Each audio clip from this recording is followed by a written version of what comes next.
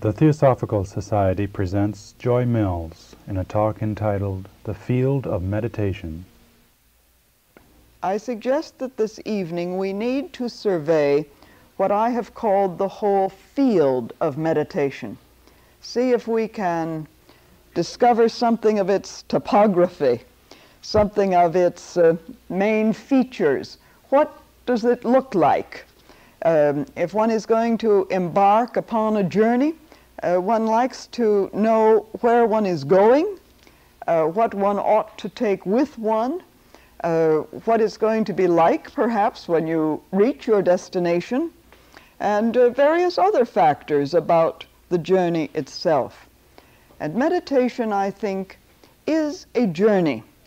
It is a journey inward, principally.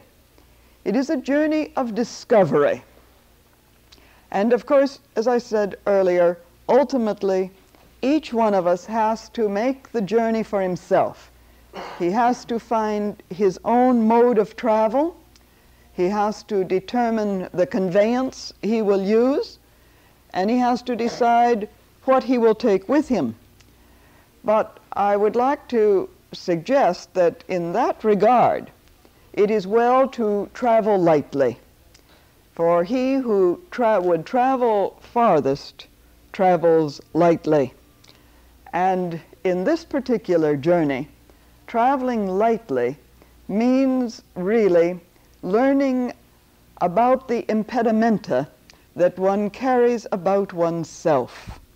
That is to say, the uh, physical nature and its, uh, the kinds of obstructions that it can put up, the impedimenta of our emotional um, swingings, rhythms of, of movement, from uh, great ecstasy to severe depression, the impedimenta that clutter the uh, room of the mind, because we are dealing with the matter of consciousness when we're talking about meditation, quite obviously.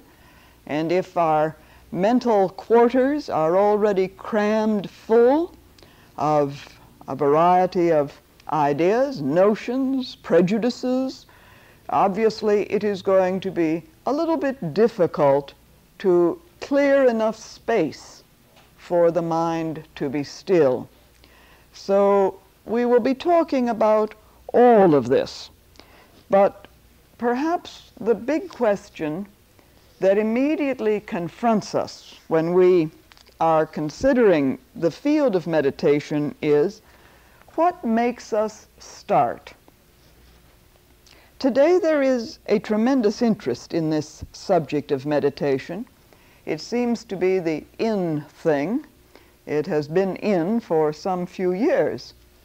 Interestingly enough, the Theosophical Society, which has been in existence for nearly 99 years, which means for nearly a century, has always suggested that the techniques of meditation are useful in the realization of one's own essential nature.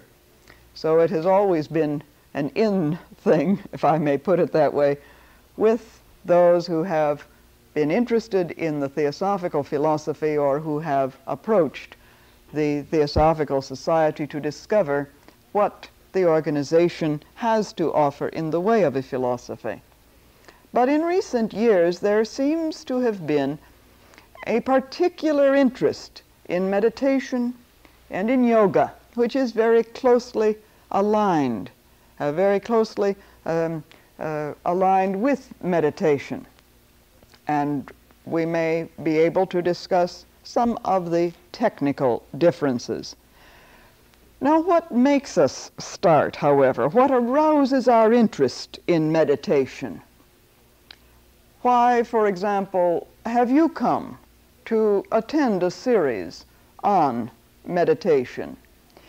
Is it not because we become aware at some time or other in our existence, in our lives, of the fact that there must be another realm of reality than the world in which we are normally moving.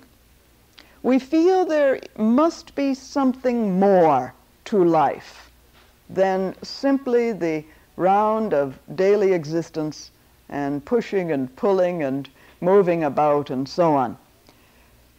Plato suggested that it is we start meditation because we recall, we recollect, remember a realm from which we originally sprang. We remember a world of reality in which we were originally rooted, from which we have moved out into the diversity of incarnation. Now, perhaps this is as good an explanation as any, and perhaps it will suffice at least to initiate our discussion to suggest that something is triggered within us that recalls us to another state or condition of existence. A world of reality which we feel we are basically, inherently, essentially linked. And that if we could, in some way, move to recover that original state, we would be whole people. We would be happy people. We would be able to meet every circumstance of our existence with an equanimity, with a certain serenity, with a certain understanding that would enable us to meet whatever the situation might be. I rather like Plato's proposal that there is in each one of us the recollection of another, an inner world, a world in which we are whole, in which we find ourselves truly ourselves, where we can be ourselves without all of the paraphernalia that we seem to have to present to the world, the facade that we so often present. At times it is easier, I think, to define meditation by what it is not than by what it is. And so I would like to inject here some of the things which it is not. But again, one is entering upon the subtleties of words in many respects. And while we may discuss some of these, please hold it lightly at this moment because obviously what we're going to be sharing and the kinds of meditations we're going to be experiencing collectively during the coming six weeks, we can't say it all at once. And so perhaps as we move along, some of the distinctions, some of the differences will become clarified. But first of all, all of the writers on meditation, all of those who have written out of their own personal experience of meditating, and really meditation is ultimately defined only in the act of meditating. When one does it, um, as it were, one is meditating, and therefore one knows what is meditation. But all of the writers, both those who speak of the various forms of Western styles of meditation, Christian meditation, and the various philosophic schools of meditation in the West, as well as those who write of and write out of their own experience of the Eastern schools of meditation, Hindu meditation, Buddhist meditation, Chinese meditation, all of these, everyone agrees that meditation as an act is not passive. It is not uh, sort of sitting down with one's mouth open to see whatever will be attracted to come along. It is not just sort of entering into a negative state of being, a negative retreat, that it is positive, that it is an action in which one moves in a certain determined direction. In fact, one writer uses the phrase, the first deliberate action, and goes on with regard to what it involves and says, the word deliberate is worth noting here because from now on, each process that we carry out must be an intended and directed act of the will. True meditation is not a negative sitting back in reverie, but, all, but it is a positive, carefully directed, and quite scientific method of working with the consciousness according to spiritual laws. This is in a very beautiful book on meditation, which we have here in the library, and I understand there are a few copies in the publishing house, in the Quest bookstore. The Silent Path An Introduction to Meditation by Michael Eastcott. A very beautiful and a very useful book also on this subject, The Silent Path. And so he refers to it as the inner silent path. So it is not passive. It is not daydreaming, and it is not fantasizing. It is not what has been called creative brooding, although that in and of itself can be extremely useful. And anyone who has done any reflection upon a problem, who has done any reflection uh, upon a, a particular topic that, in which he's pursuing uh, his studies, uh, I know for myself when I am preparing for a talk or writing an article, uh, I engage in a great deal of what I call, at least, creative brooding. Uh, other people may say it looks more as though I'm daydreaming, but there's a creative brooding which takes place. And this bears a certain resemblance at times, but it is not the deliberate act in, of meditation.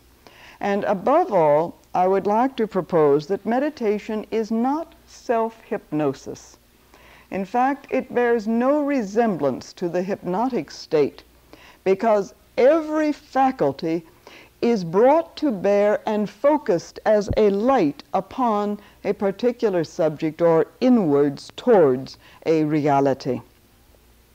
And so it is essentially a creative act it is the positive achievement of a leap in consciousness in which all areas of consciousness are harmonized, alert, and focused. It is the art of being. It is the science of the self, the immortal self, not the little self, which often intrudes with its own will and its own interests and to divert our attention. Ultimately, and I'll stress this again, the path of meditation is individual, though collective meditation has its place and value, and we will experiment with some collective meditations during these sessions together. There are certain aspects of the science that may, must be grasped by every student attempting to undertake meditation.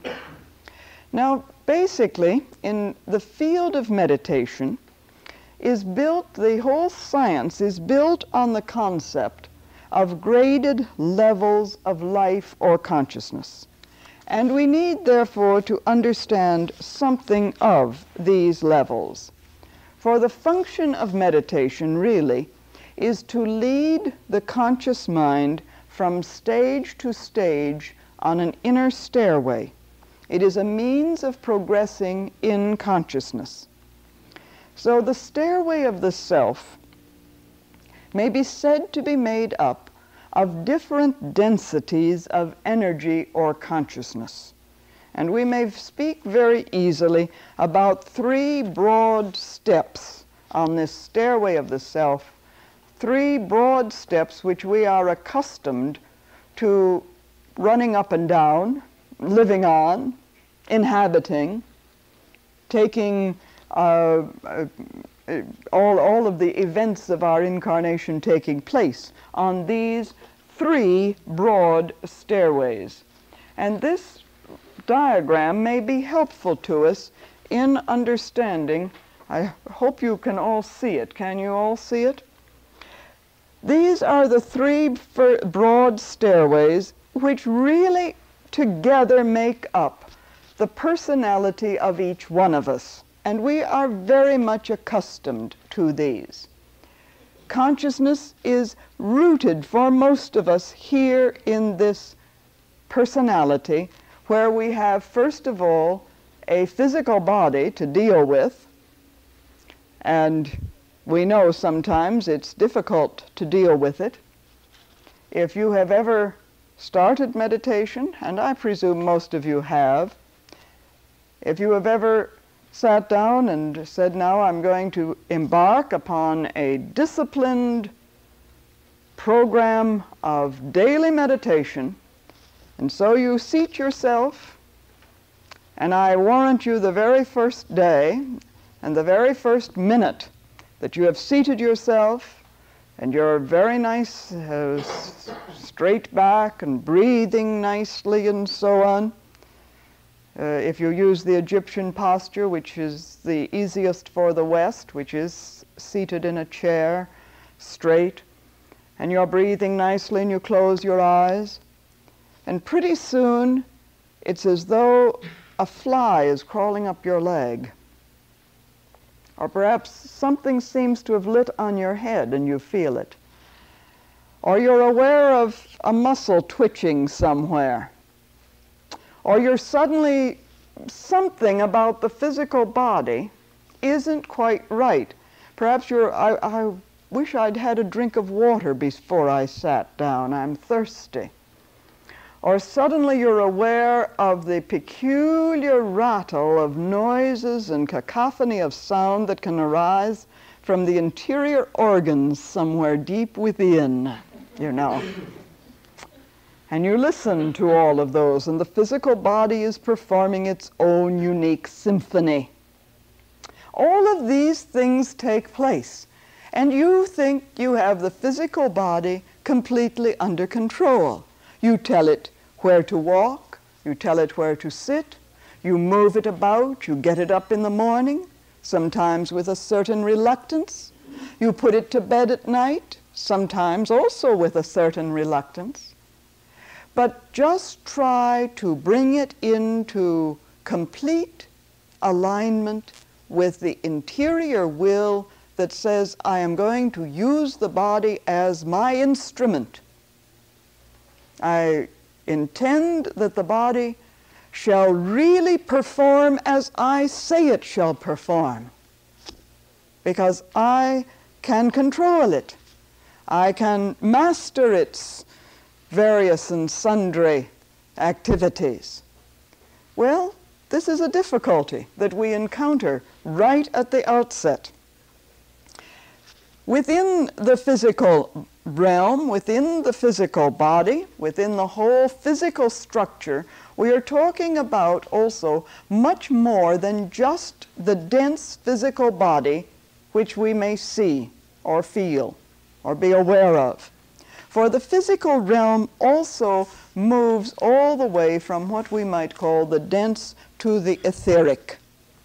And the concept of an etheric aspect an etheric counterpart of the physical body is becoming an very well known aspect of the entire study of the fields of energy and consciousness which surround man.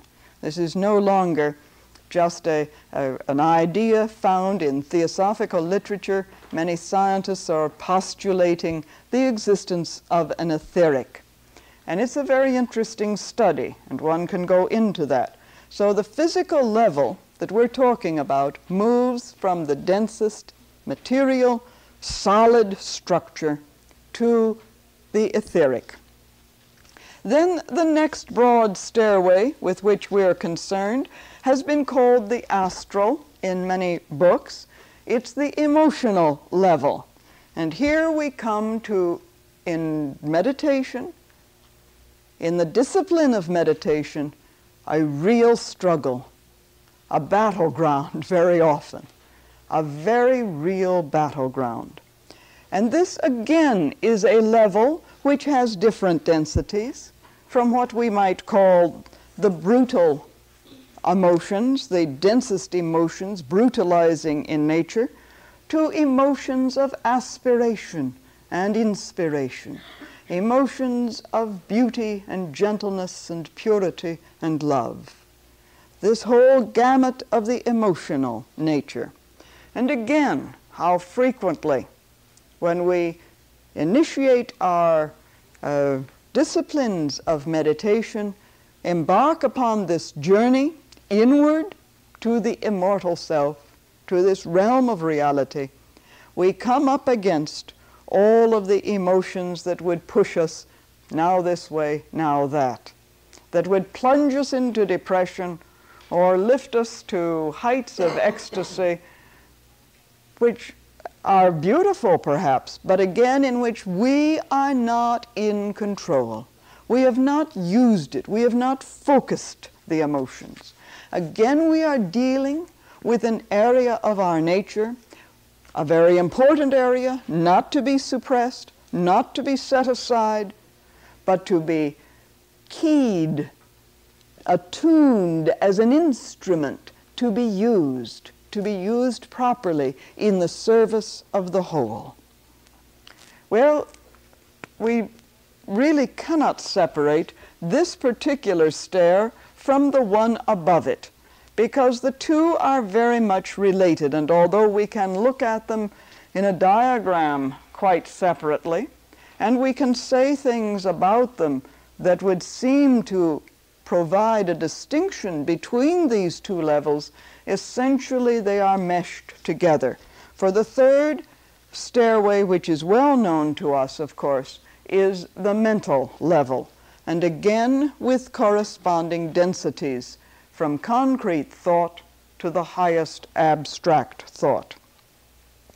Now, our first, prog- uh, our pers- first uh, need in embarking upon the science of meditation is learning to use these three vehicles, these three levels operate fully on these three stairs of our being. Operate in a way in which we can say that these energies within us are directed as we would direct them, because we are not this personality. We may use it, we may adapt it, we may refine it and build it and focus it but we are not the personality.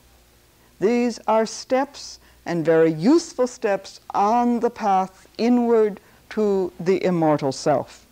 And so there are steps beyond these, less easily definable in concrete language, but which, to which we may either broadly assign the term spiritual or may more specifically name as the intuitional or Buddhic, as you will see it in many of the books, and the spiritual or Atmic, that realm of the pure self in terms of the immortal will. And so here is this vast realm into which we can move, which has been called the individuality of man, and beyond that, into that which is the essential self, the monad, the enduring pilgrim, that which truly is the universal man, as it were. This is a very useful diagram to contemplate because this is the field of meditation. This is the path that we are determining to take. Now, before I open this to discussion, I'd like to move along with just a few more points in the survey of this field. I would like to suggest that at the very outset, if one is really determined, I'd like to at least experiment with the science of meditation. At least I would like to feel that I have taken it up. Then I think one must be very honest with oneself and examine very, very closely what is the purpose? What is my purpose as it were? What is the goal in undertaking meditation? And I suggest that there is a need for great honesty, for no one outside will ask you, but if you fool yourself, you will be the only one to know. But if you fool yourself and say it's some lofty aim when really it is not, when it's masking perhaps some other purpose, that if I can achieve the goal of meditation, then I will have power over other people. I will be able to manipulate them by thinking about them. I will be able to attain myself great wealth or riches or some spiritual status. Or I will proclaim myself in some manner as uh, a teacher, a guru. And this is, of course, very popular today, you know particularly if you have on a turban and, and uh, an Eastern robe and so on. Uh, you can claim, you can change your name and become Swami, whatever it may be, uh, or Yogini, somebody or other, and so on, and uh, immediately gather around yourself uh, those who, who are somehow duped by the fact that you must be a very spiritual person because you have a different name or have dressed in an unaccustomed manner. But if your aim in taking up meditation is to achieve something in order to exhibit powers, if it is to achieve, in fact, the awakening of psychic powers, and often these may come along with the discipline of meditation. They are not unusual, it is not unusual. But if your aim is along those lines, then be honest about it at least. That's all I'm asking. Just at least uh, say, all right, this is what I'm going to set out to do. But be ready to pay the price of the aim that you have set for yourself. For I suggest that if the goal is, for example, a self centered withdrawal from life, a retreat from existence, then the science of meditation will lead you only into the morass of confusion, a swampland of self deception. And if the goal is to gain power, then be prepared to reap the whirlwind of your objective. For that is what will come. These are not warnings, they are simply statements of fact, verified through the ages by those who have experimented in one direction or another. Well, therefore, I suggest simply look at yourself. Do you want to undertake such a journey? Is it, does it seem enticing? Would you like to know who you really are?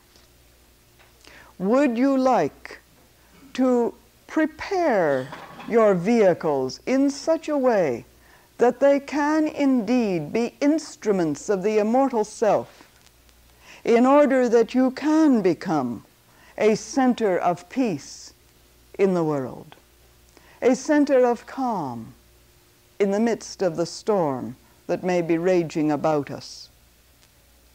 Would it be useful in your own life to be able to live in such a manner that by your very presence you bring peace into the atmosphere in which you are living and working, and thereby serve others?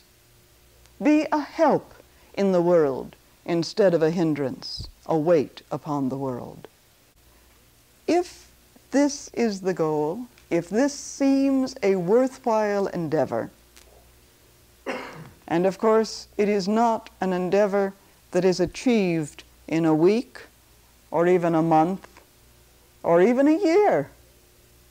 For there are those who have been meditating daily for many, many, many years and who would never think of not setting aside some period of the day, preferably in the morning hours, for a period of inner renewal, of inner relinking of the personality with the immortal self, with the great self of the universe, which is one with the self in all, without any outer show, and yet know from their own experience the inestimable value of this daily routine that is creative, that is unroutinized, because it is creative every day anew in this inner manner. Well, then, if you are interested in this deliberate act, then the first step of this deliberate act is to learn the art of relaxation. The art of how to relax the physical body, the emotions, the mind. And this is not easy. One of the, I suppose, almost apocryphal stories that arises in the Theosophical Society has to do with one of the perhaps the greatest leaders of the Theosophical movement, Dr. Annie Besant, who wrote a great number of books and some works on meditation and concentration, and the spiritual life, and the way of discovering this inner realm of the self.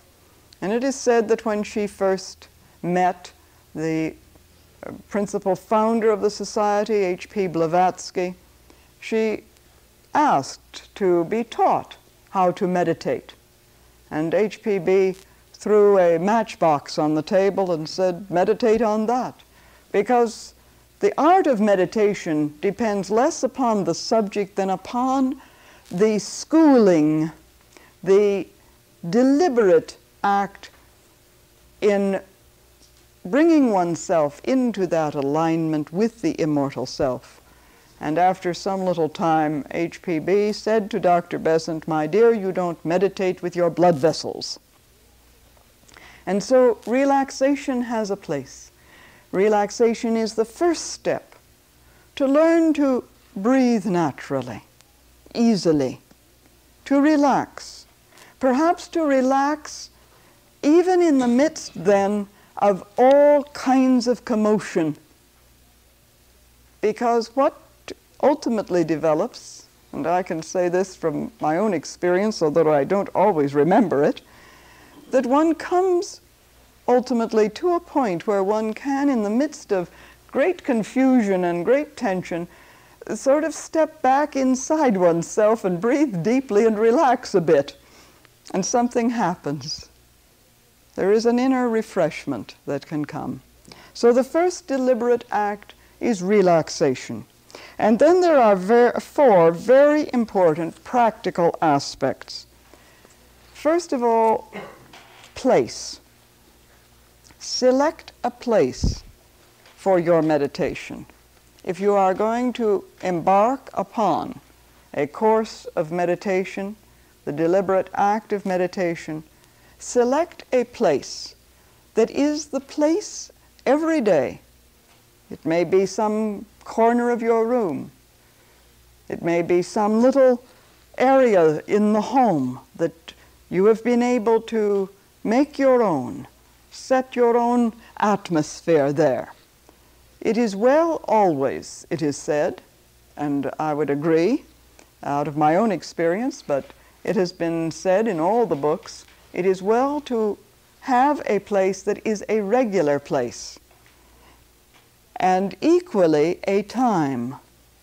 So that if, for example, meditation is for you a, a 15 or 20 or 30 minute program each day, that it takes place at the same time each day, or approximately so.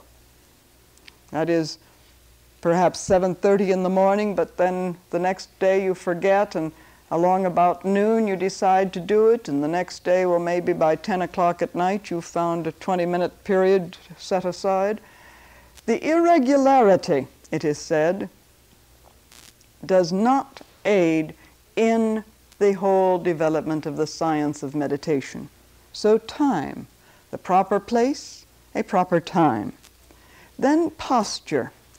This is an interesting point because today there is a, so much interest, particularly in the West, in the, so, uh, the postures of the East, particularly the lotus posture, which, of course, is that used in most of the Eastern countries. Not all, but many of the Eastern countries. The lotus posture, which is sitting cross legged on either a floor or, or cushion, and uh, in the customary lotus posture pose.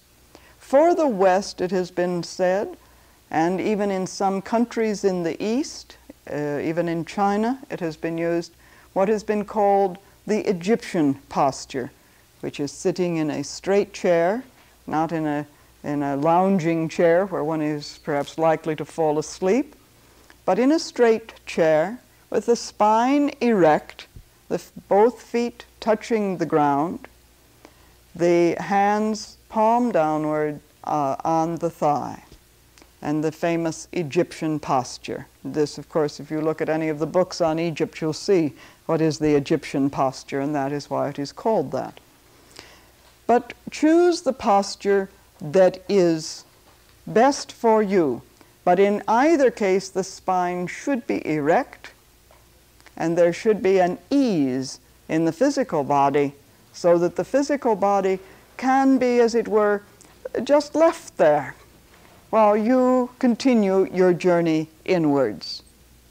The physical body not neglected, but just left there, quiet, able to take care of itself, uh, able to continue upright, not falling over and falling asleep, but uh, just being there so that it is alert, so that the physical brain is not um, drugged in any way or hypnotized in some way, but simply there, and you continue your journey. The third uh, the fourth, rather, the place, time, posture, the fourth aspect is rhythm. And by this is meant both the regularity of meditation and that kind of rhythm that arises within the body itself. Learn to know yourself and what is your rhythm.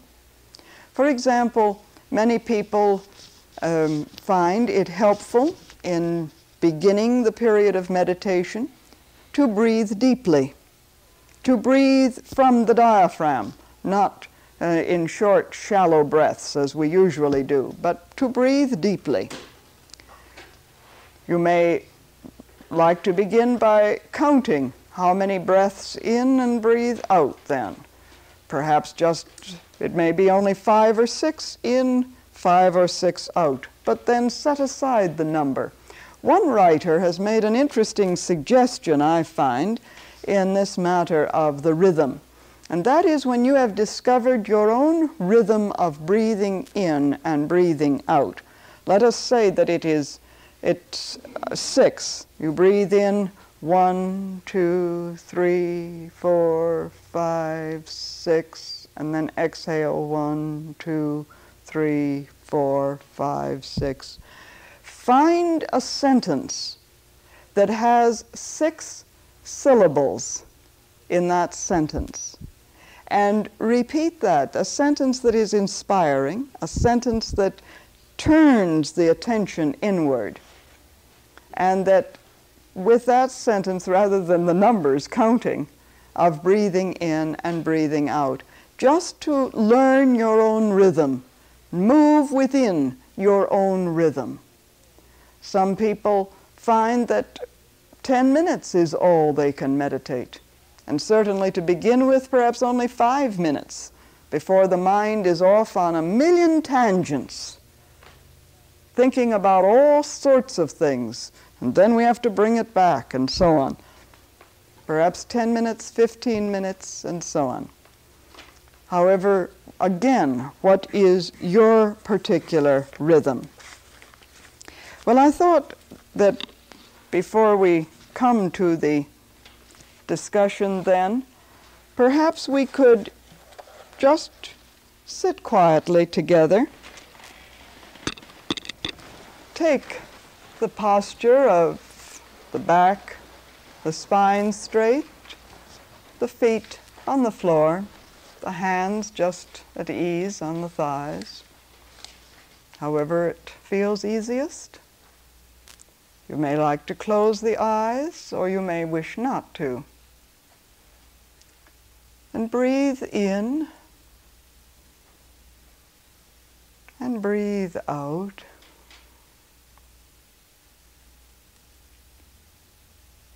Breathe in and out in a rhythmic manner.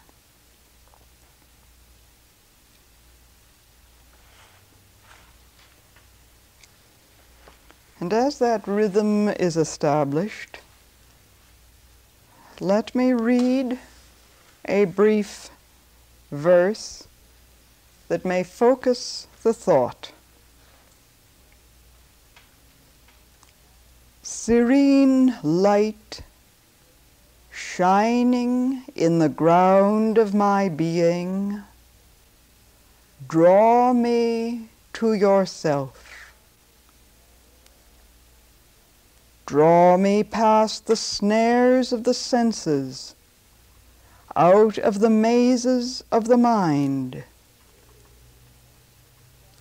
Free me from symbols, from words, that I may discover the signified, the word unspoken, in the darkness that veils the ground of my being. Serene light.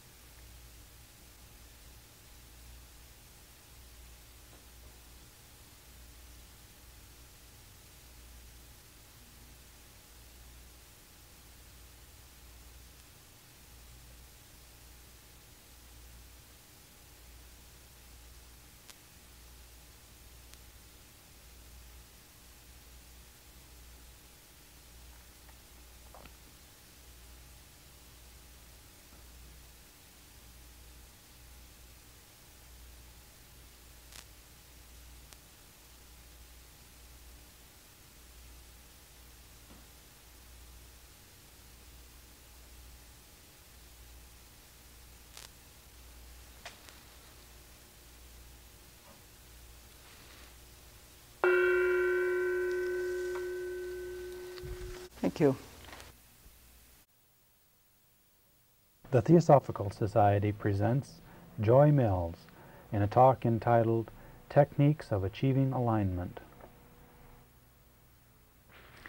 Now, tonight I'd like to turn to some more specific matters in the preliminary steps of meditation. Uh, probably from one point of view, we all of us engage in meditation at some time or other, at least in that kind of meditation which is perhaps at the threshold of the true discipline, which is often spoken of as yoga, the real discipline of meditation.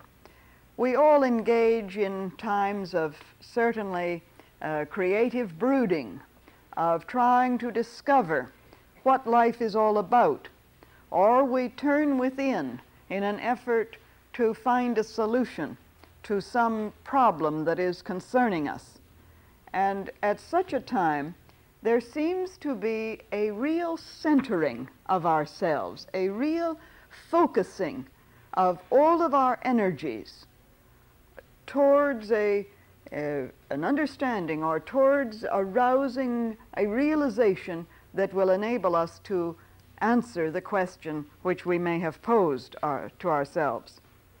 Now, last week, as I say, in describing some of the features of this field of meditation, we suggested that the stairway of the self is composed of different densities of energy. And the chart which we have here on the Constitution of Man suggests a sevenfold system of the energies of consciousness, the energies which consciousness utilizes at the various levels of awareness. In beginning the practice of meditation, I suggest that we have to begin where we are and with the equipment that we have. I think often some of the problems with meditation arise simply because we are not content to begin where we are. We'd like to be something different, or we'd like to uh, sort of overleap the personality and get at once into some other state of awareness and consciousness and forget the personality. And the part of the problem is that our personalities simply will not be forgotten. They intrude themselves in some way upon our attention. And so I suggest that we have to begin where we are and with the equipment that we have and come to terms, as it were, with ourselves, accepting ourselves as we are. We have, in one sense, if I can put it this way, to get ourselves together in order to undertake this task of meditation. Now, we may feel that we are very, very familiar with what may be called the three bottom steps of the stairway of the self the physical, the emotional, and the mental worlds or realms of energy. But whether we are familiar with these realms or not, we really do not have a great deal of control over these areas of consciousness.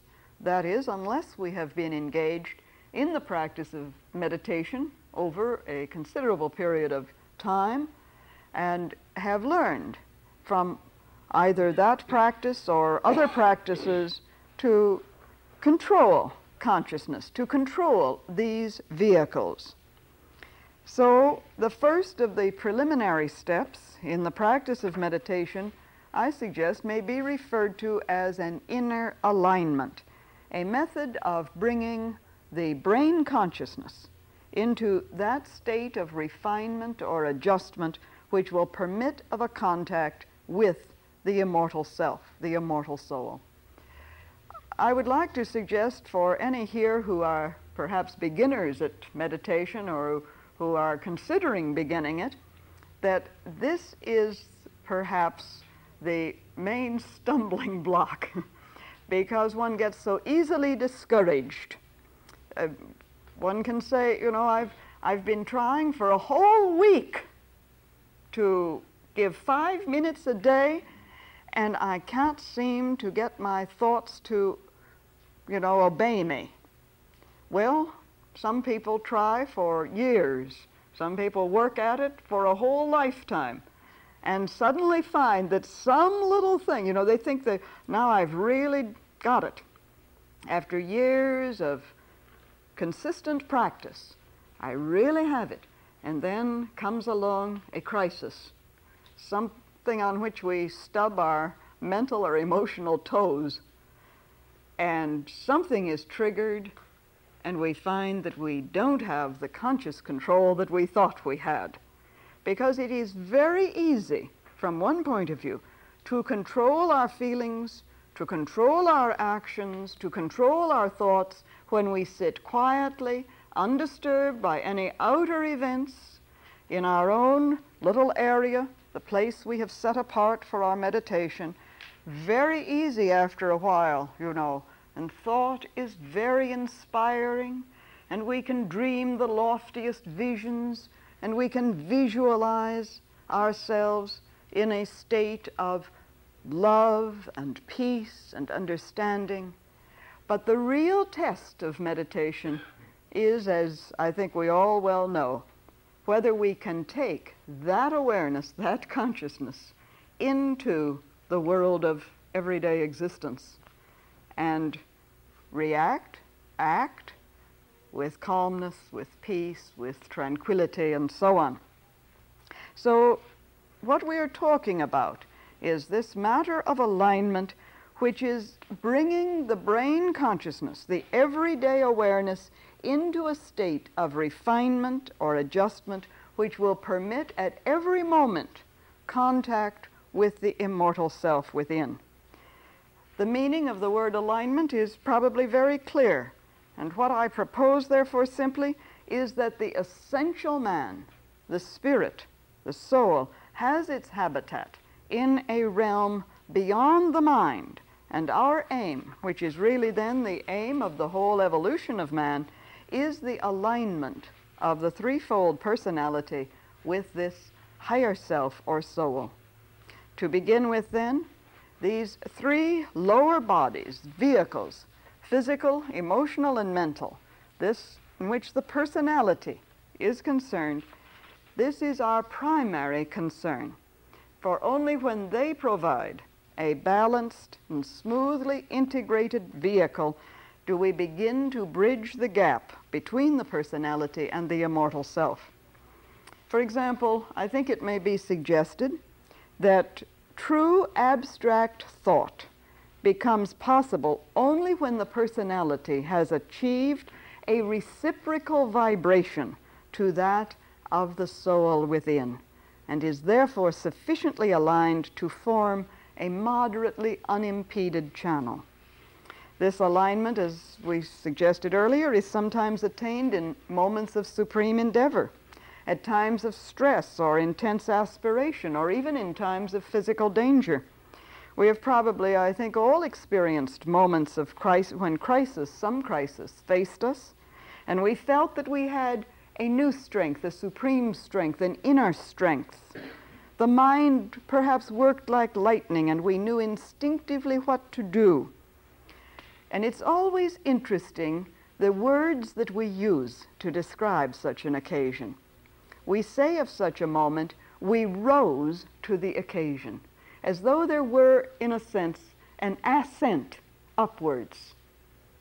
Whereas if we do something that we don't like, or we engage in, in say, an angry word or uh, an emotion of fear or anxiety, we always say we somehow fell to a lower level. We really use words that depict almost an ascent or a descent. And I think these terms in themselves are extremely useful. Now, while this may occur, this rising to the occasion, while this may occur only rarely, we certainly do not forget that in such times we felt no fear, no anxiety, no insecurity, no doubt. We knew, and the knowing was complete and whole and it seemed to engulf us, to take us in completely. We were fully able to meet the demands upon us. And such a memory, of course, should give us confidence that alignment is possible. It can be done once, it can be done again. And if it can be done twice, it can be done as a continuing attitude towards life. Now, since, therefore, meditation builds, in a general sense, builds a bridge between the inner and outer aspects of life.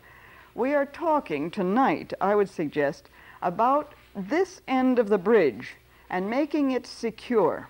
This end of the bridge of consciousness, which is focused right here. Don't try to, you know, be an aerial, ethereal creature lost in some, some realm of, emo- of, of meditation moving about the world, uh, you know, in a, in a kind of vacuum. What we're talking about is making this practical, that this does something to transform our lives right here, to lead a different kind of existence. This is a very practical matter. And so, what we're talking about, as I say, is making secure this end of the bridge, making sure that on this shore, where the personality is, where the the incarnation has taken place, that there is a firm structure to receive the traffic that will cross the bridge from the further side.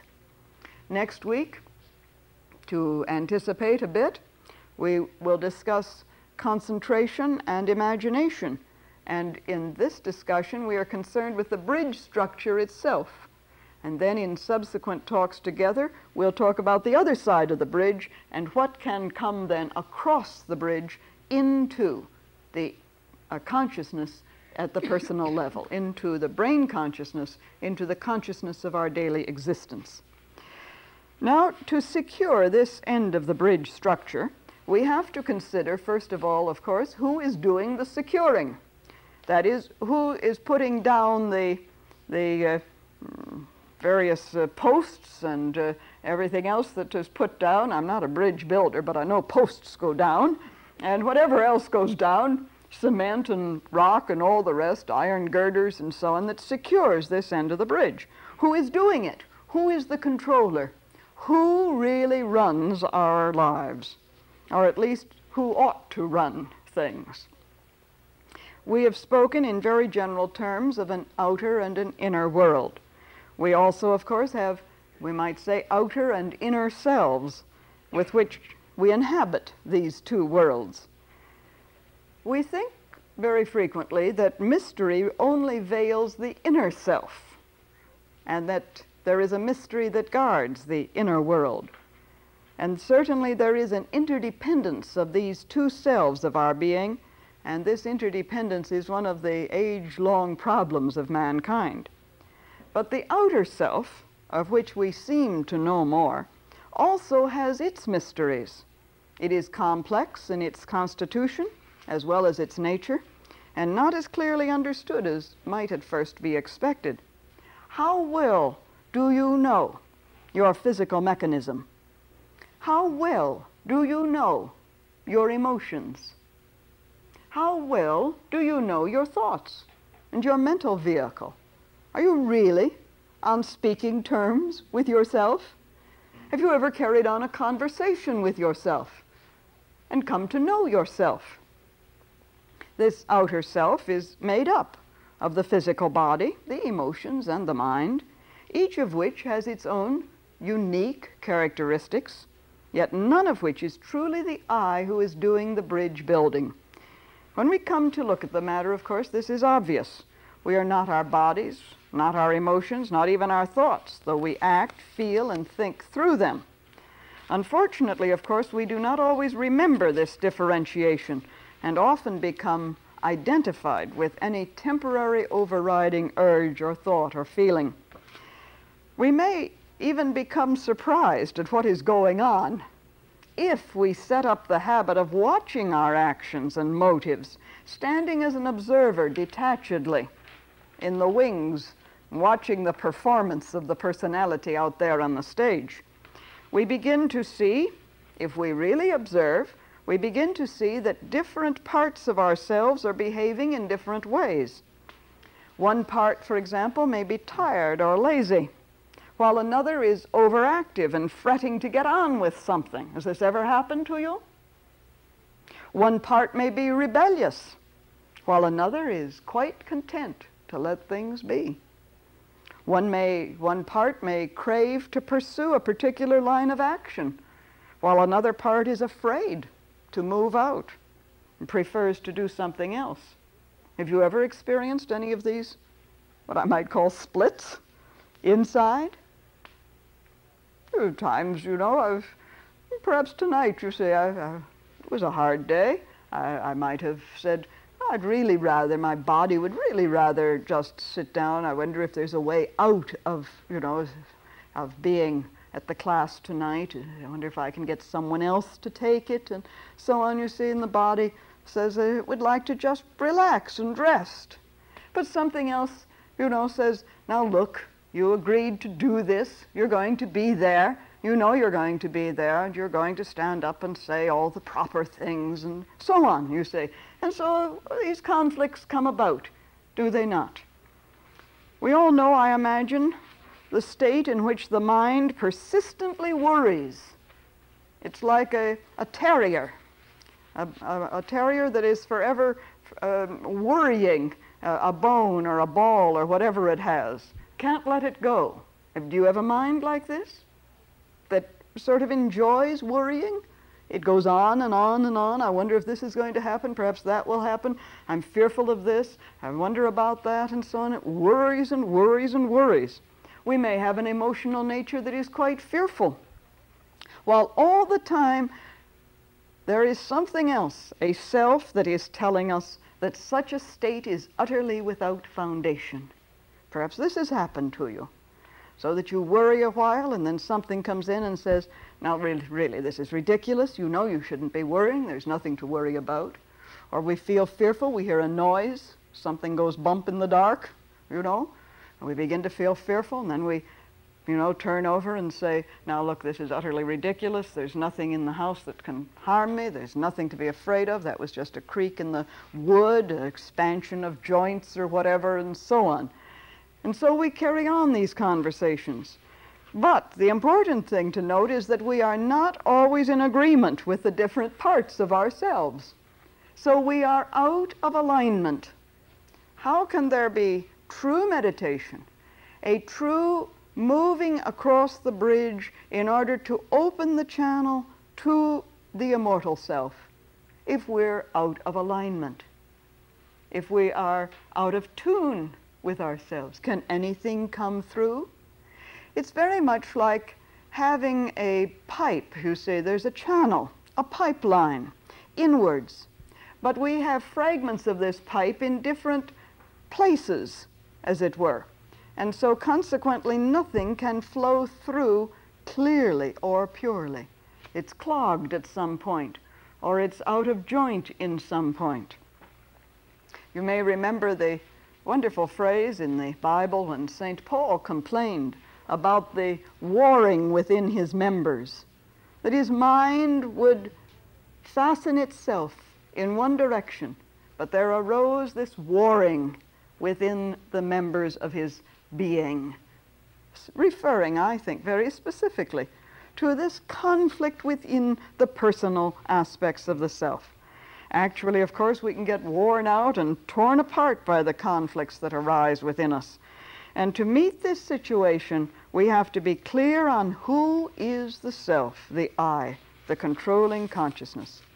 Well, the first part of the answer begins to appear when we realize we are not our senses or our bodies, and neither are we our minds.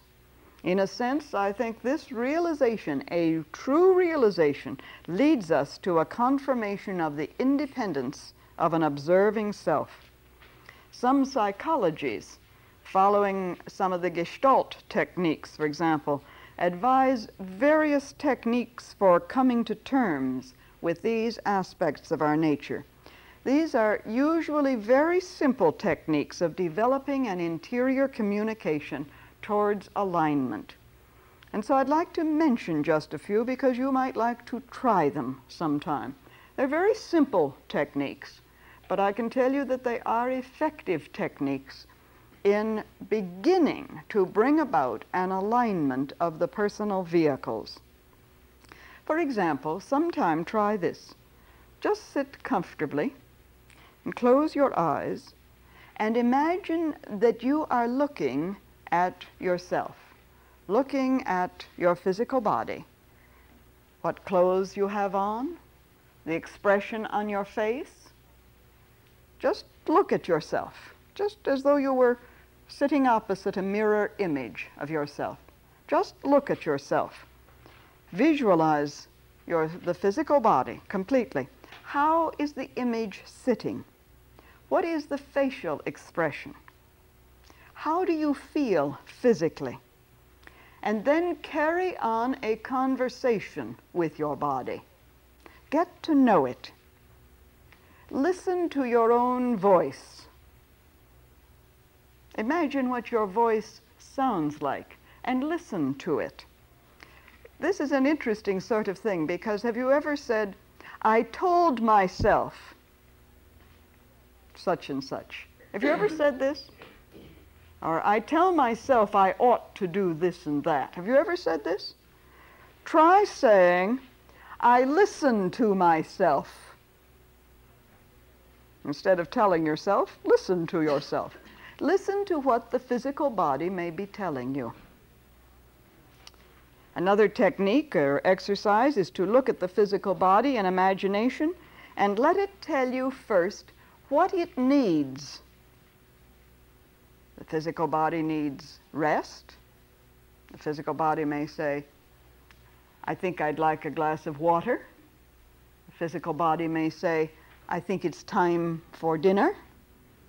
Uh, the physical body may say, I'd like to uh, take a walk. I'd like to breathe some fresh air. I want, I need this. I need fresh air. I need nourishment. I need rest. I need water, and so on. Find out what it needs.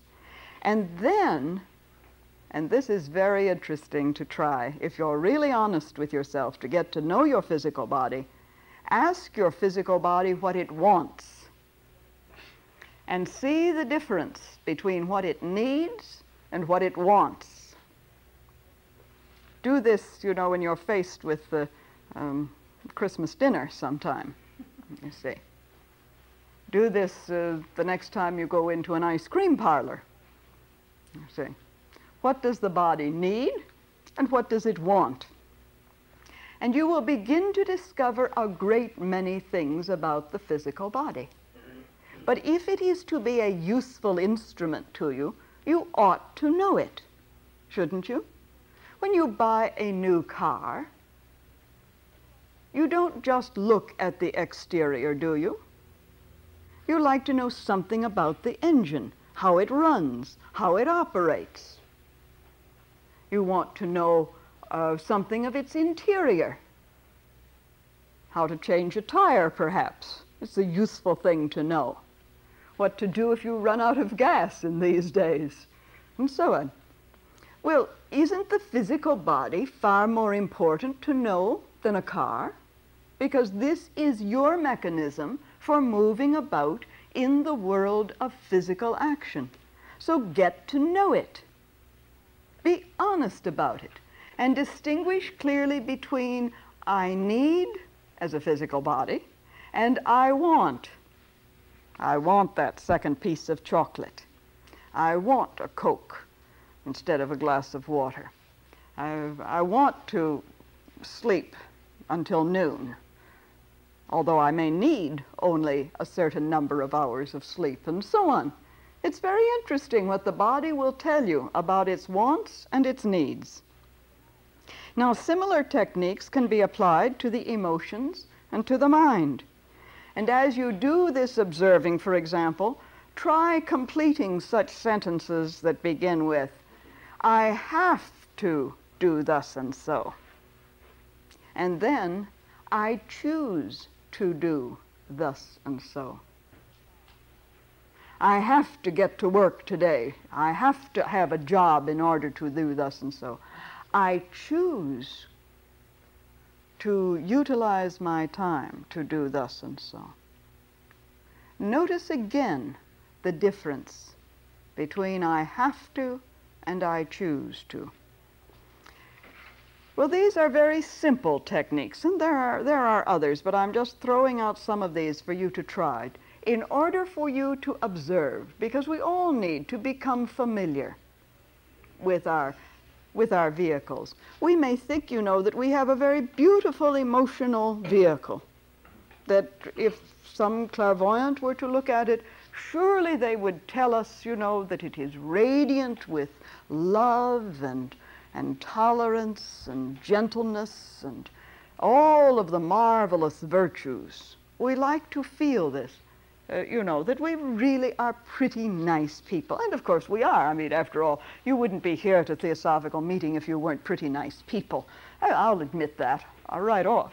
We're all very nice people and civilized and so on. All of this. There isn't any violence and so on. But get to observe your emotional vehicle. Observe your mind. Is there down underneath when you say something kind to someone, a little thought that's egging you on that says, good God, I could cut his throat, you know, something of this kind. You know, some little thought that is not quite as kindly as we express. Get to know your mind. What does it do? How does it work? Be honest about it. Well, as I say, these are just very simple techniques and exercises, and there are many others. but it is all to the purpose that we can come to know the vehicles that we have, the equipment that we have at our disposal.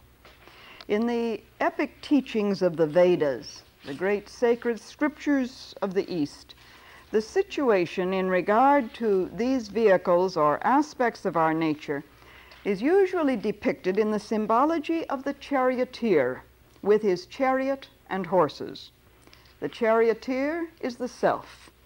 The chariot is the incarnation which he is leading. And the horses are the mental, emotional, and physical aspects which take the chariot forward.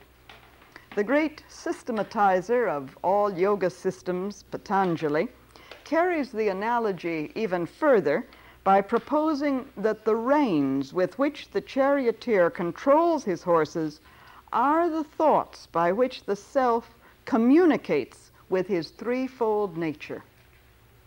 And so he can hold the reins taut, he can loosen them, he can permit the horses to go off on their own, and so on. Plato, in the Greek tradition of the Western world, also used the analogy of the charioteer. And in one of the dialogues, he remarks with great frustration as might be expected, there is a great deal of trouble in managing the horses.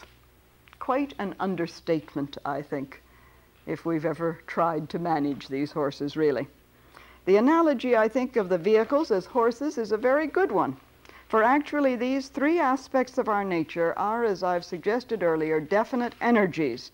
And we need to be aware that we have three very different types of energy to handle. Each of these elements in our nature has its own characteristics and qualities, vices and virtues that we may need to curb or to use. Each has its own drives, tendencies, motives, and demands. And these we have to learn to handle for constructive purposes and in the service of the self, neither giving them full uh, freedom to move in any direction, nor holding them under such restriction that the normal needs of the vehicles are not met. Each, of course, of the horses may pull in a different direction. Not always, for example, do thought and emotion go hand in hand. And so we have to perform, in one sense, a real balancing act to stand poised in the chariot of life, holding the reins of these three rather willful horses and determining the direction they will go.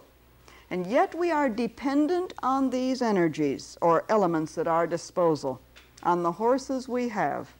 And their various pulls must be assessed and adjusted, and our, our own vision harnessed to what may be called their potential horsepower, because this is the energy, the horsepower available for this incarnation. And its proper utilization enables us to live that kind of life which is the totally integrated life and permits the inner vision to come through and influence our lives. In all of this, of course, the strong hand of the one in charge is vitally needed. The guiding hand of the charioteer who holds the reins and sees the road that the horses are to move along. Now, one other point before we come to another exercise. We and we alone must bear full responsibility for the elements in our charge. Let us not say, He made me think that. He drove me to that anger. He caused that anxiety. He brought about that fear. Something outside, an external source, impelled me to do that, to move in that direction, to act in that manner. The horses are our own driving energy, but we have created the horses. We have built them, fashioned them in accordance with our own past actions, feelings, and thoughts. And just as we are training the horses of our personality now, so are we building, as it were, creating, shaping, fashioning the type of horsepower we will have in future incarnations. We alone bear the responsibility. And this is why, in one sense, You see, in talking about meditation, in suggesting some of these techniques, in suggesting the benefits, in suggesting the need for alignment, it's very true, according to the old axiom you can lead a horse to water, but you can't make him drink.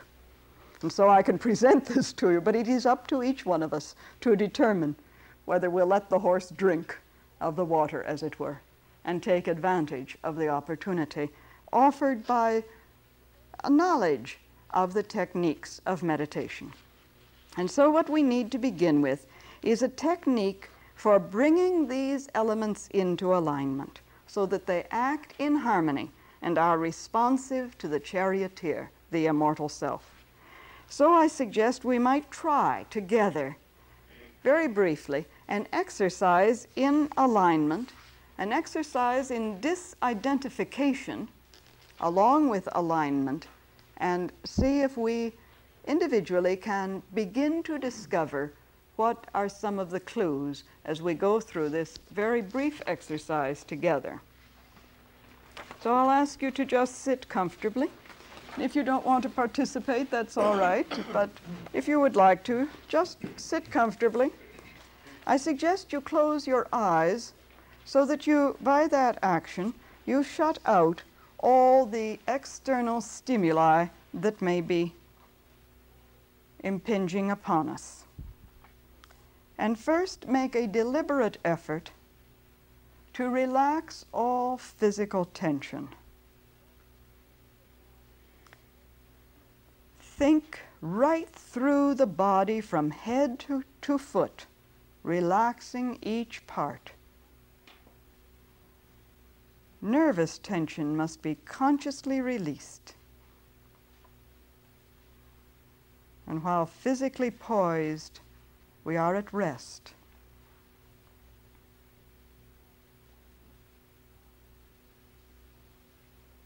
I have a body, but I am not my body.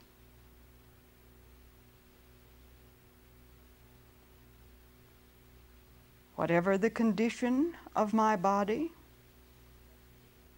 well or ill, rested or tired, it is not my real I.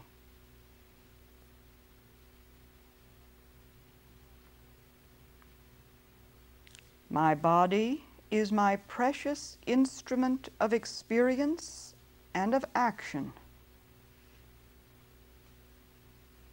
But it is only an instrument. I treat it well.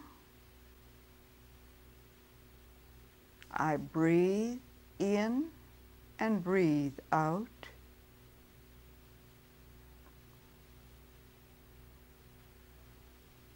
I have a body, but I am not my body.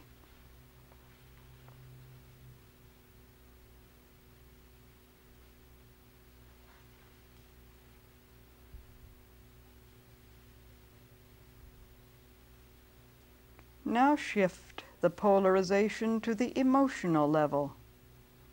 Draw in the consciousness and try to stand at a still central point. The emotional body can be imagined as a smooth and limpid pool with a quiet, reflective quality which will offer no impediment to alignment with the mind. I have emotions, but I am not my emotions.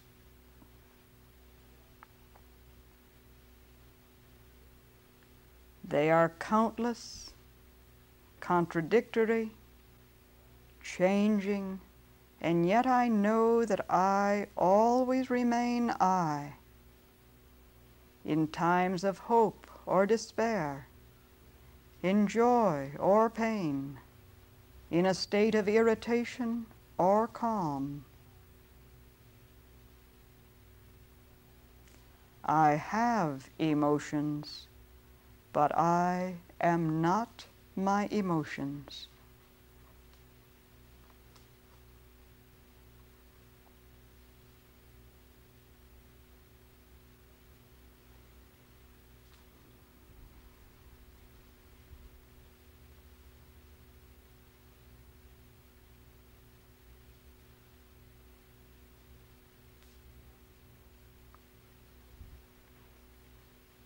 Now turn the consciousness to the mind.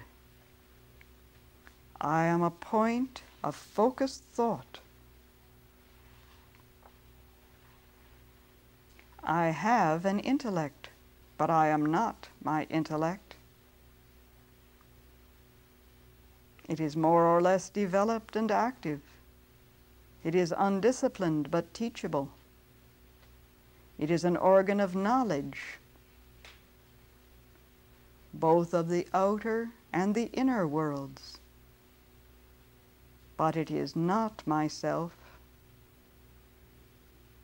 I have a mind, but I am not my mind.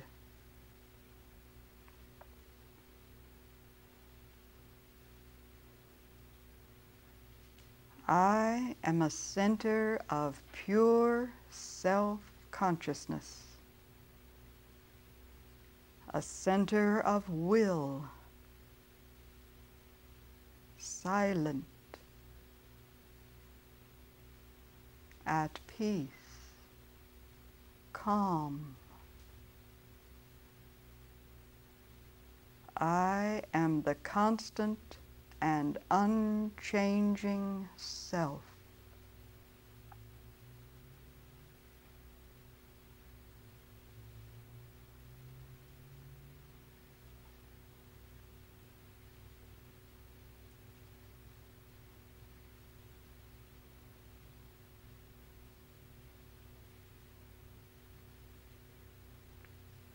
From that center, unchanging, constant.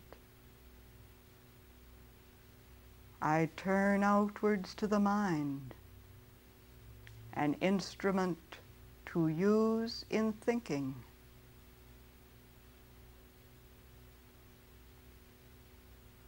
I return to the emotions,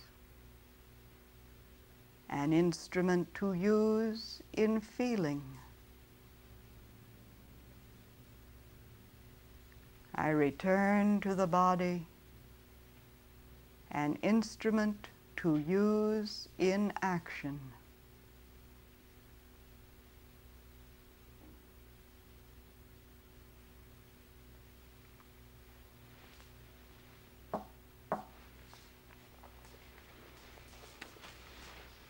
Thank you for trying that with me.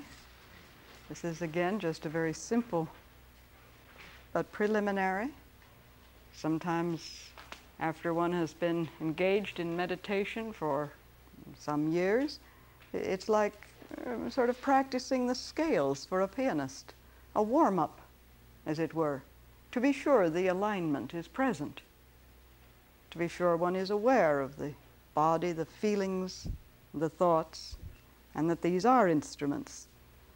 And just as the accomplished pianist never forgets his scales, but often does use them as for warm-up practice. So the individual seated in the calm center of meditation never forgets the preliminary steps and often uses them as the pianist does his scales to be sure the attunement is there, the harmony is there, the alignment is present. This concludes Techniques of Achieving Alignment by Joy Mills. The Theosophical Society presents Joy Mills in a talk entitled From Concentration to Imagination. Now we come tonight then in our series of studies on meditation to what I think are two most important aspects of the subject, two factors which all writers, East and West, every book on meditation, whether it deals with the Western systems of meditation, the systems of Christian meditation, uh, the various uh, systems within the Western types of meditation, or the Eastern types of meditation, Buddhist, Hindu, Chinese, whatever all books on meditation agree are two very essential factors that must be involved in the systematic and orderly practice of meditation.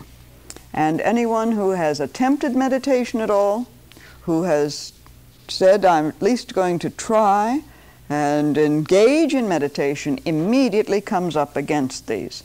These aspects are known first as concentration, the ability to focus the mind on a given object or idea for a given period of time, concentration, and imagination or visualization, the ability to direct the mind. Now, this isn't just the again, um, flight of imagination, where one gives free rein to whatever arises, but imagination coupled with concentration in the directed purposefulness of it, so that it is imagination as an ability to direct the mind to build pictures or images in accordance with the command of the immortal self or under the direction of the will.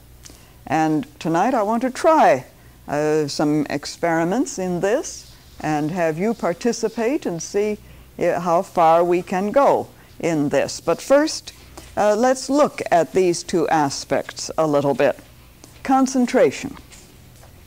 I suppose there are very few people who have no difficulty at all in concentrating the mind. Now, uh, I suppose it's possible that some of you have minds well disciplined, well controlled, so that you never think a thought, you never have a thought pass through your mind that you have not determined will be present. But uh, if you have, that's marvelous. You should be giving the talk and not I. but I suppose for most of us, there are times when we find ourselves thinking about something that we never intended to think about. Or we find ourselves far, far removed from the subject we may have chosen to meditate on or to contemplate. Uh, perhaps, for example, even since I began speaking, which is uh, about 10 minutes ago, eight minutes ago, I suppose you have heard and listened attentively to every single word I have said. Nowhere along the line in the last eight or ten minutes has your mind sort of wandered off somewhere. That's wonderful. I knew I had your rapt and complete and whole attention, you know. But I suspect that your mind has been having its own adventures, and that uh, you may have heard, and our attention span varies. This psychologist knows, so you may have heard some words now and then, and suddenly your mind was off, perhaps carrying on a little argument with me saying, uh, you know, I wish you'd get on with it, or this is repeating stuff I've already heard, and how did I get myself into this tonight? Well, it's cozy for a while, so I'll stay, but I wonder how it's going to be going home, and so on. Your mind has been doing all sorts of things. Well, in one sense, this is all right because the whole evolutionary development of the mind has taken place in a way that fosters a certain speed of response to stimuli. So, this is why I say, in a certain sense, this is all right. That you have minds, that we all have minds that are quick to respond, to move, that have a real speed of mobility. Because the whole evolutionary process in the development of the mind is the bringing about of a condition in consciousness in which there is this kind of speed of response and an, a, a mobility of the mind. That is, the mind has become accustomed to moving swiftly from stimulus to stimulus, alert to sensations from without, turning attention quickly from one thing to another. Now, this has been part of the evolutionary process because it is part of the process of protection, protection of, one, of one's incarnation, for example. You see, if you, if you walk out into the street and you are so concentrated on spiritual liberation that you fail to hear the automobile horn that's suddenly honking at you, you are in danger of losing a rather precious possession your body, an incarnation. So it is well that the mind has become alert, you see. So this is nothing against it.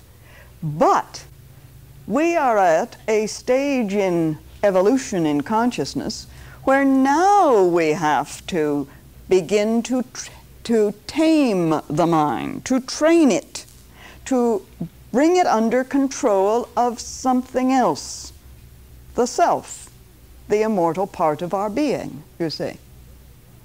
Without losing this mobility, this extreme responsiveness to outer stimuli, but to learn to discriminate between the times when it is useful for the mind to respond in that manner to outer stimuli, and those times when we want to turn off all outer sensation, as it were, and not regard it, not regard the outer sensations.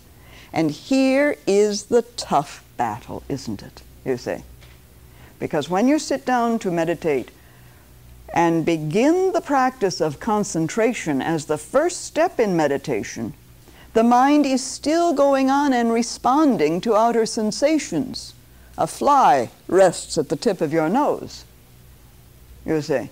Now, the mind has been customarily in the habit of sending, of, of, of reacting, you see, so that a sense uh, stimulus is present and there is an automatic reaction to brush the fly off. Well, we'll come to some of this, and I have a story to tell you a little later on. But here we are confronted with the need then to quiet the mind, to help it stay in place, as it were, to focus on one thing to the exclusion of all other outer stimuli and sensations. Dr. Annie Besant, in her superb analysis and very helpful survey of this entire process, and those of you who may not be familiar with it, I certainly recommend her little book, Thought Power, which is very basic and very helpful and begins right at the beginning, as it were, with this whole matter of concentration and gives some marvelous clues to it. She comments on this difficulty which confronts us by saying this While the mind is collecting materials for thought, Extreme mobility is an advantage. And for many, many lives, the mind grows through this mobility. This is what I've been saying earlier. The stoppage of this habit of running outwards in every direction, the imposition of fixed attention on a single point, this change naturally comes with a jar and a shock. I think it's marvelous because it does. The mind is, huh, I've got to be you know, who thinks he's going to control me? says the mind, as it were. And the mind plunges wildly like an unbroken horse when it first feels the bit. And you remember last week we used the analogy, which is used in so many books, of the charioteer and the horses. The horses being the three horses who should be driven in tandem, the three horses of the mind, the emotions, and the body should be driven in unison neither one going out of kilter, as it were, and carrying the chariot of the incarnate of the whole purpose of existence off into one line or another. So concentration is simply a mental challenge.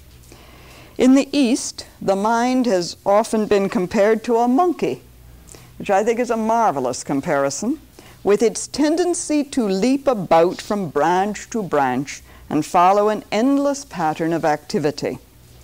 And interesting in the West, in the Greek tradition, the very word psyche, which is the Greek term for that whole mental emotional principle, which has often been called the soul, is the Greek word for butterfly.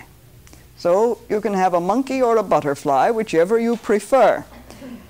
A tendency, in other words, of restless activity and to leap about. This analogy, of course, I think not only illustrates the restlessness of the mind, but also indicates the fact that the mind is a real entity, a part of ourselves with its own identity and with its own inclinations, sometimes acting rather independently from the instructions we may give it, as we well know. So, as has been suggested by some writers, it may be necessary to induce meditation, it, it, in order to get started in meditation, to sort of play games with the mind, sort of get it into the, the proper frame of doing what we think it ought to do, and to play with the mind with skill rather than bludgeon it into obedience. Because obviously, you cannot bludgeon it without damaging its power to be a useful instrument. You cannot drug it, you see, and say, well, look, my mind is so active and I want it to do what I think it ought to, so I will simply drug it. You see, I'll put it to sleep. Well, a lot of good the mind is then. You're, you're not in a state of meditation, you're in a state of drugged sleep, you see, and so be honest about it. So you have to use the mind and use its, its mobility and its restlessness with skill. Just as you see, the best racehorse is not one that's uh, you know ready for the glue factory sort of thing, not the old you know uh, horse that can hardly limp around but obeys you constantly. It's the horse that is that is all primed and alert, but well directed. Ernest Wood, for example, in his excellent book on concentration, has pointed out that in all of these matters we must do no violence. As he says, we are not hard and lofty masters, whipping a wild animal into sullen obedience.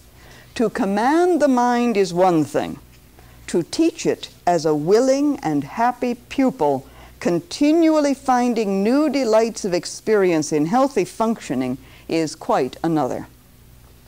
So, how do we get the mind to play with us, you know, to do what we want, as it were? How can we, I suppose, trick it, you know? Catch its attention, you see. Capture its attention. It may be useful, I think, to, at this, uh, in, in order to uh, engage in the practice of concentration, to intrigue the mind by presenting it with an object or idea which will elicit its cooperation because the mind is interested in whatever the idea happens to be. Actually, you see, there are two kinds of concentration. One is spontaneous and automatic, and the other is deliberate and controlled. And perhaps the easy way is to move from what may be called deliberate and spontaneous concentration to discover what the mind does then and move from that to deliberate and controlled concentration. We can begin with the one, in other words, and gradually develop the other. For example, if you are convinced that you have a very good control over the mind because you find it very easy to focus on a subject of interest to you, then determine to concentrate for five minutes on a subject that has no interest for you. You will discover a great number of things about your mind. Of course, you have good control in concentration on a subject that is of intense interest to you. Time goes by, you know, you lose sight of all external things.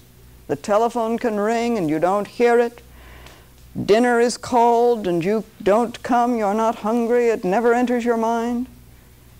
But concentrate for five minutes on something that has no interest whatsoever to you, and you're sure it's time for dinner half an hour ago, and all sorts of things, the window ought to be opened or closed, or various things need to be done.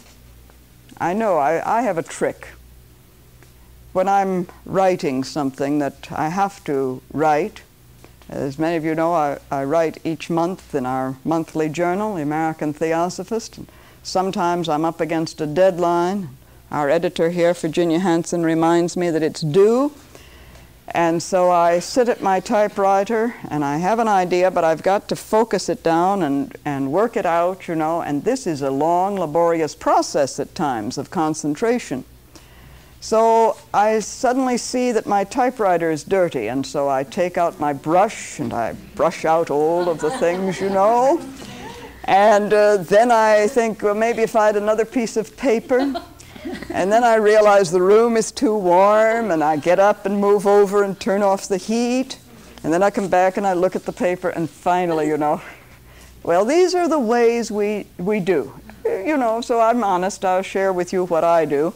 And uh, I'm not asking you to share what you do, but, but this is what goes on. Now, you may find, of course, if you really look at this matter of the difference between concentration when you're absorbed in a subject and concentration when you just can't get your mind to focus on it, that there is present or absent one factor. In other words, that there is one factor we could say that is present in spontaneous concentration that is always present no matter what the subject, and that is some strong emotional or mental motivation. A desire, an interest, excitement, and so on. All of these pull the mind, don't they? To a focus, as it were, pull our thoughts to a focus. And I think this may be the clue in helping us with the development of concentration as a deliberate and controlled practice. Now, how can we invest the subject on which we consciously determine to focus the mind in concentration? How can we invest it with a strong motive? This is the heart of the question in getting ourselves into the initial stages of concentration. Here, I suggest, is where imagination or visualization come into play and may be very helpful in enticing the mind to concentrating. Now, this is not yet meditation. This is a first step, however. It is a preliminary step and an essential step on the stairway of meditation. In one sense, it's rather like telling the, the willful and restless child that if he will focus on his homework and really get it done, he will be rewarded with a certain amount of freedom after that. So it's telling the mind, now, please, just for 10 minutes, you're going to focus. You're going to consider this subject or object, whatever it may be. And then after that, I'll let you, you know, sort of go outdoors and play. Think about anything you want to think about. Concentrate for a while and then go about your usual activity. So it is that deliberate, controlled concentration is carried out under the orders of the self, and there may be very little emotional urge or desire behind it. In fact, the order may even be rather dull and unattractive to the mind. But the determination has come from a deeper center within. And this, of course, is the determination that must be present all along the way in learning to meditate and in the practice of meditation. Well, we might use as an example, let us say that I place before you a number of random lines, just random lines and shapes, and I ask you to concentrate on them. Here is, uh, uh, for example, I'm going to just show it to you, you see. And I'm going to say these random shapes you are to concentrate on. You are to concentrate on them so that you can recall precisely what they look like. This is one of the exercises in concentration. To look at something, let us say, for five minutes, and then to be able to reproduce it, you see. Now that's rather difficult, isn't it? And this is rather meaningless, isn't it? But if I suggest to you first, if you can take these two figures here, these, this uh, rectangle and this uh, um, rhomboid shape, and you begin to imagine something. Can you can your mind imagine what they are? Can, what do you see there? Let's say this just this rectangular shape. What do you see? What do you imagine as you look at that? An envelope? Hmm? A coin purse? A bow tie and a striped shirt. You see, the imagination really can move out, can't it? Anything else that anyone sees there? A candle and flame. That's interesting. A hat. A child. Oh. A wall. A dressing table with a mirror. A dressing table with a mirror. Now, having done that, your interest is aroused, isn't it? And how much easier to concentrate through imagination so that when I put this down, you are more likely to recall the shape there, are you not? Now that you have invested it with some imaginative quality, characteristics. Do you see? This is how imagination can be used to pull along the mind towards concentration. Very simple little exercise, but perhaps useful to illustrate this at least. Because in the process of this exercise of imagination, you find yourself concentrating. And all of you, the moment I said, imagine what that might be, began concentrating on it, seeing it, really seeing it, really focusing. And so all of your thoughts were pulled together towards that particular set of lines and drawing and so on. Now, of course, when we come to abstract and spiritual matters, there is an intangible quality which makes it genuinely difficult for the mind to find something to take hold of, something it can really focus on. Yet I think even here we can gain a certain aid from the emotional nature through aspiration, through dedication and other altruistic motives. And the exercise I'd like to try a little bit later uh, towards the close uh, will illustrate this, I think. But a few other points first. I think it must always be remembered that concentration is not a state of passivity. And this little exercise indicates that. It's not a state of passivity, it's a state of intense and regulated activity. You were pulled, as it were. Thought was pulled towards the image which I presented to you. And so it resembles, concentration resembles in the mental world, as Dr. Besant has pointed out, the gathering up of the muscles for a leap in the physical world. It resembles this. And I think the analogy is quite apt.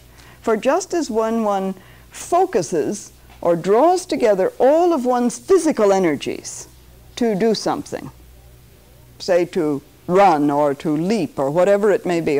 One gathers all one's physical resources, and then afterwards there is a release and a feeling of fatigue. So, very often, there comes a physical fatigue after prolonged concentration. One of the reasons why it should not be engaged in too long, because the physical body also needs its due, as it were. It must be given its attention. It must, its needs must be provided for. And so often there comes about this sort of interior, what has been called a kind of biological clock that alerts us to the fact that the body is tired. Concentration now may cease because the body has actually felt its reaction in terms of a fatigue. Another point I think should not be overlooked some types of mind, uh, minds are by nature perhaps more diffuse, and concentration is more difficult, therefore, for some people than for others. And I think this shouldn't bother us. We say, I've been trying to concentrate for years, and someone, your neighbor, says, gee, that's so simple. I really have got that step down. I can immediately concentrate.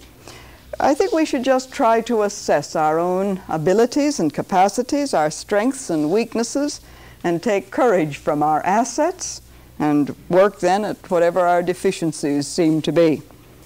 For example, perhaps it may be necessary for those who tend to be dreamy and vague to work at developing their minds along objective lines, to train themselves to a precision of observation through concentration, a real precision of observation, while those who are over objective, who are inclined to be critical, inclined to be very precise, may need to cultivate a little more imagination and ability to think abstractly so that we balance these factors. Of course, a very simple exercise in concentration is looking at a picture or a building and then jotting down all the details remembered from that perception. This should be done, however, with some precision, checking the results. Go back and look. What did you leave out? Or evoke, if you are the very precise kind, evoke a picture in your imagination Hold it steadily in the mind's eye and build in carefully every detail and then let go of it. Withdraw from it. Such an exercise, of course, evokes the power to visualize as well as to concentrate and recall. And in this, of course, one comes up against some of the problems of imagination, which has its own problems too the tricks that imagination can play upon us if we are not alert. And so the imagination, which is really very important, because in its creativity, it is one of the valuable instruments we have for meditation, can also play tricks on us, aiding and abetting the mind in its desire to escape from concentration. It can aid concentration, and it can also aid the mind to escape from concentration, as we can wander off. So imagination is both reproductive and creative, and it can function at several levels. Imagination has links with sensation, with feeling, with thinking, and with intuition. And creative imagination can be trained. A simple exercise, for example, in creative imagination is to picture a triangle. Can all of you picture a triangle? Close your eyes and see a triangle. Very simple. Now, extend the lines to form a diamond. Can you do that? You see the diamond? And you hold the diamond steady? And now deepen that image until it is three dimensional and becomes a many faceted jewel. Can you see that? This is just a very simple exercise. Come back. You can then take the three-dimensional effect out and come back to the diamond, back to the triangle, and let it dissipate. This is a marvelous little exercise in training the mind and imagination, you see. Very simple. The essence of any exercise in imagination, however, is that we should not be carried away by the imaginative faculty. Again, we determine where we go the triangle to the diamond to the jewel and back. Not off, you know, diamond searching in South Africa, for example, or in the jewelry store. All of that, you see. We have determined. In other words, we select what is to be imagined, and the whole process is kept under our command.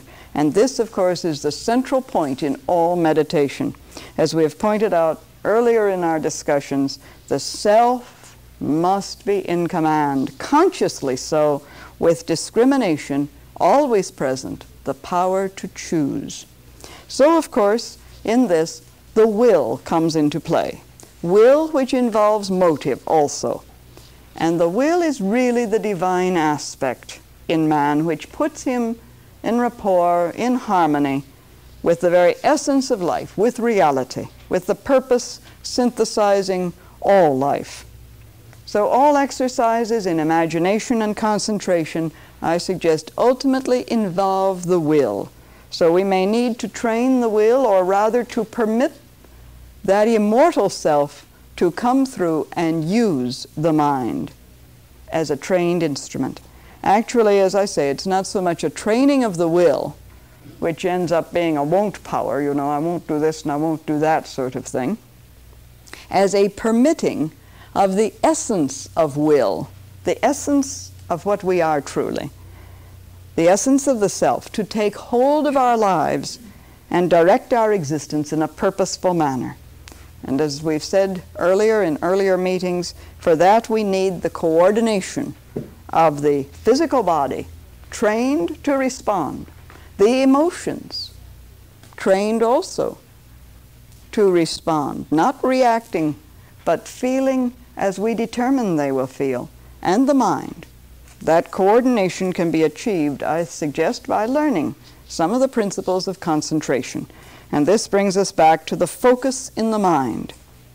One of the great Western uh, students of, of meditation and concentration, uh, giving rise to much of the system of the great Christian mystics of the medieval period, St. Dionysius wrote that three things were required to attain spiritual vision. The first, he said, the first is possession of one's mind. Are we in possession of the mind? To learn to concentrate is to be in possession of one's mind. The second is a mind that is free, which means simply a mind that is not pulled by the emotions, not subject to uh, the emotional swamping that can take place uh, not subject to prejudice, a mind that is truly free. And the third is a mind that can see. That is, a mind that looks clearly at all things, objectively, and, and frankly and honestly. And as he says, how can we acquire this speculative mind? By a habit of mental concentration. Very simple. Very simple, you see. Again and again in Eastern methods as well as in Western schools, wherever meditation is taught or practiced, the art of concentration, built up with a well trained power of imagination, is basic. Something of the difficulty of the task, and I told you uh, earlier on I'd tell you a little story, and here I'd like to inject it in this matter of, of the well trained mind. Something of the difficulty of the task is illustrated by a story that Alexandra David Néel, uh, who did a considerable amount of traveling in the East and has written several works on Tibetan mysticism. Uh, she tells about the method used to ascertain the degree of concentration achieved by the Tibetan novice. In one of the schools in Tibet, it is customary in training the pupil to concentrate to place a small burning lamp, burning with butter, on the head of the novice. Now, such a lamp with butter in it burns for a very long time.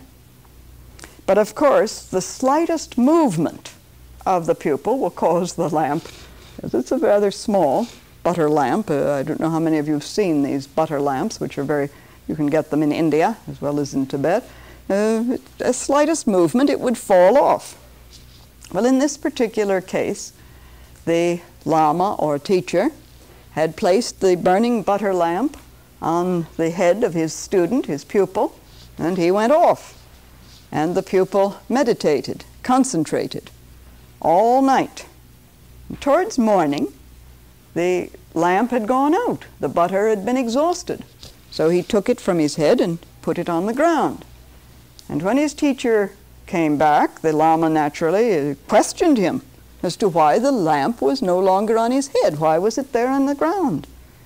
And he said, Well, I, the, the flame had stopped. It was no longer burning. I had had it on my head almost the whole night, and the flame was out, so I put it on the ground. And of course, the Lama retorted sternly, How could you know that the lamp went out, or even that you had a lamp on your head, if you had reached true concentration of the mind? so, of course, this is what happens, you see. We do become aware of other things. We respond to other things. And concentration, if there had been absolute concentration, he would not have even known there was a lamp on his head, let alone that the butter in it had been exhausted. Well, I'd like to try an exercise then with you as our meditation this evening. So if you would take a comfortable position, and I'd like you to, for this, to close your eyes Breathe deeply but naturally so that there is established a rhythm in the physical body.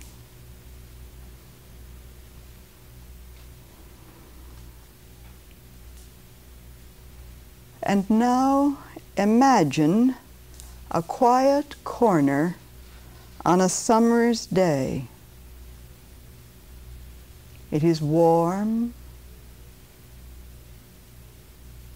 You are going to build a picture of a garden. See the garden.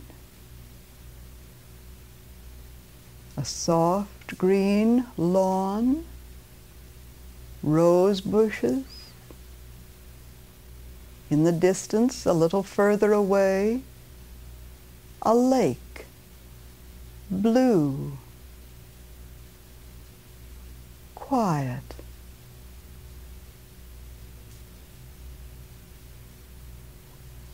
Opposite the lake, surrounding the garden, are tall trees. See those trees.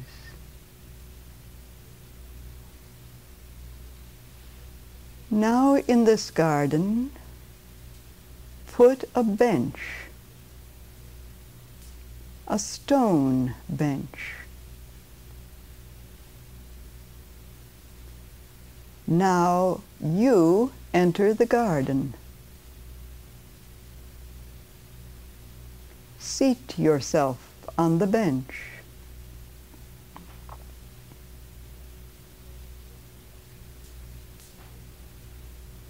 Feel the warmth and light of the sun.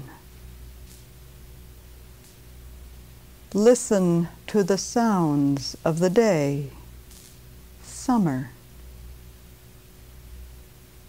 Smell the scent on the air.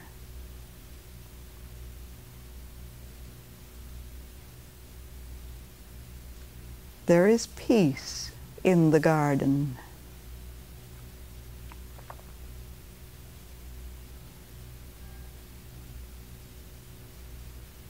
Now dismiss the picture.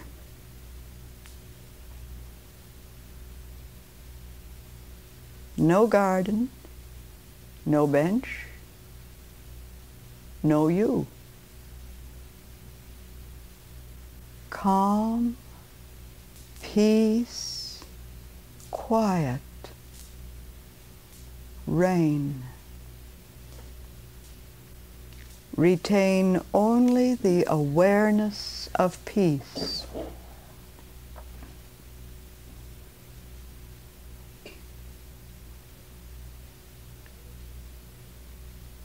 Now bring that quality of peace into your mind, into your emotions. Into your body. Your whole being vibrant with peace.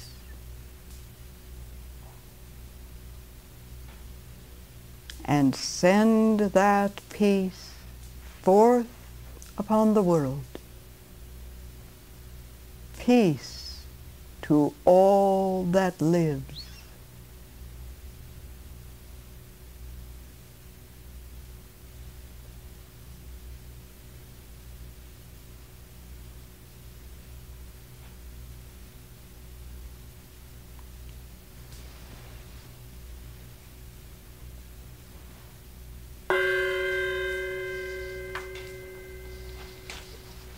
Thank you. The Theosophical Society presents Joy Mills in a talk entitled Reflective Meditation. Tonight, I'd like to take up what has been called reflective meditation, which has to do really with thought processes. Reflective meditation is rational. And I'll comment, and it may be that in the question period you will have points to raise on this, but I would like to comment right at the outset that one reason for emphasizing this particular category of rational med- meditation, reflective meditation using thought processes, is that this is particularly adapted to the Western body. And this I think we must remember. The Theosophical philosophy, as I'm sure all of you know, suggests the feasibility, the, the um, validity of the concept of reincarnation. So that from that point of view, there are incarnations when we have Eastern bodies, there are incarnations when we have Western bodies. Now, I am also convinced that when one is in a Western body, or in an Eastern body, whichever body one is in, as it were, male, female, uh, east, west, uh, whatever, there is a purpose. There is something to be learned from incarnation in that particular body. And therefore, there are techniques, there are disciplines, there are uh, ways of using the body that are particularly well adapted to the type of vehicle one has. And uh, often mistakes are seriously made and difficulties can arise when one attempts to do something that really is not, if we can call it this, the dharma of the physical body that one has. That is, the, the whole purpose of the body which one has. And in the West, we are accustomed to thinking. Thinking is, the rational function is very much emphasized in the West. Then this can be the tool by which we enter into the whole realm of meditation. And we should use it. And I can tell you there are serious cases where this has been forgotten, and either the, the idea that you can bypass the mind or that we don't need it in some way, and the whole mental process, which includes discrimination, which includes choice, which includes a fine-tuned instrument that is able to look at it and make decisions as to the validity of an experience, of an insight, of an intuition, where that has been set aside and really serious difficulties have arisen. Well, I won't go into the negative aspects, but this broad type of reflective meditation actually is found even in many of the Eastern schools. In some of the formalized meditations of Mahayana Buddhism, it is very much present, very much present. The rational faculty is there. But it is distinguished from what has been called the contemplative intuitive type of meditation. Well, perhaps the simplest form of meditation, and therefore the best to start with, as I say, because it entails something with which we're familiar, thinking. I, I think we all think. Uh, at least something goes on that passes for thinking. Uh, we hope we're, we're engaged in it. Uh, it entails, this entails the ordinary active, although controlled thinking to which the mind is accustomed, is reflective meditation.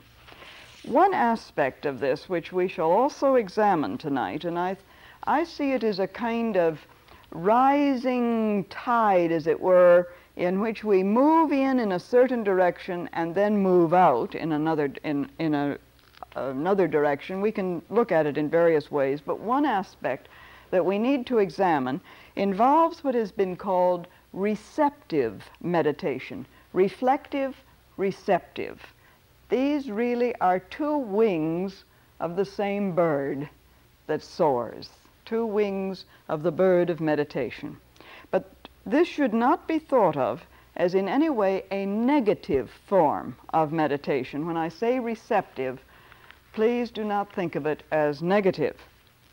Rather, that out of the achievement of reflective meditation, the mind is then held still poised. We'll try one at the end tonight, see what we can do in a group. But the mind is held still and poised, alert to receive a light on a subject, to catch an inspiration, or grasp a new realization. And this might be compared to listening for something which is far away and which therefore demands the mustering of complete attention. So it may be seen that reflective meditation, as I say, consists of two parts, as it were. And we will deal with these so far as we can separate them, although really they are very much one. So to begin then, reflective meditation takes up from the point we have reached in concentration and imagination. These were the preliminary steps concentration, imagination. A subject is chosen, let us say a quality like serenity. I presume this is a quality we all would like to have. Perhaps this is a quality you already have, so well then try another quality. But because uh, I think I need serenity, I come up with this, you see. Uh, let us take this quality of serenity. To reflect upon this, first we concentrate upon it. Then we imagine perhaps a serene lake and reflect upon it then means to begin to consider everything we can about it its meaning, its value, its significance, what it is able to bring about. The first requirement in this reflective meditation is to watch the thinking processes, keep a check on them. Notice immediately if the mind begins to wander and patiently bring it back to the central theme of serenity, the theme which we have chosen to uh, on which to reflect. We can take courage at the outset. Our minds are likely to wander, don't worry. They generally do. And let's not fool ourselves. Let's be absolutely honest. When the mind begins to wander, bring it back. But we can take courage, I think, from a writer such as Sri Krishna Prem, who has written in the book The Yoga of the Bhagavad Gita, for countless ages the mind has been turned outwards and has been given a free rein to attach itself to objects of desire. And it is not to be expected that it will be possible to wrench it away from them at once. An understatement, if ever I read one. A bamboo that has long borne a weight will not be straightened merely by its removal strenuous effort will be required to neutralize the acquired bend. So it is with the mind. And I think this is a very apt illustration. If you notice a, a fir tree with a heavy load of snow upon it, and when the snow is gone, perhaps the tree still bends, and only gradually does it begin to resume its upright state, doesn't it? And sometimes one sees a wind-swept tree which has moved out and then life forces it up and then it moves, then it bends over again and so on. It's interesting to watch this uh, on a seashore, for example, or on a, a cliff where, where the winds sweep by. So here the use of will comes in. And we alluded to this aspect of our subject last week, you will recall. The task before us then involves a steady brooding on the subject, and all aspects of it must be included. The meanings of serenity. What does serenity imply? What is its significance? What are serene circumstances? What does it mean for me to be serene? What is it for the physical body to be serene? What is it for the emotions to be serene? What is meant by a serene mind? All aspects are examined. The implications. Does serenity mean, does this imply that I will not be active in the world? Does serenity imply that I will let people just walk over me? That I will just be a limp dish rag? Does serenity imply a positive state? In which I act?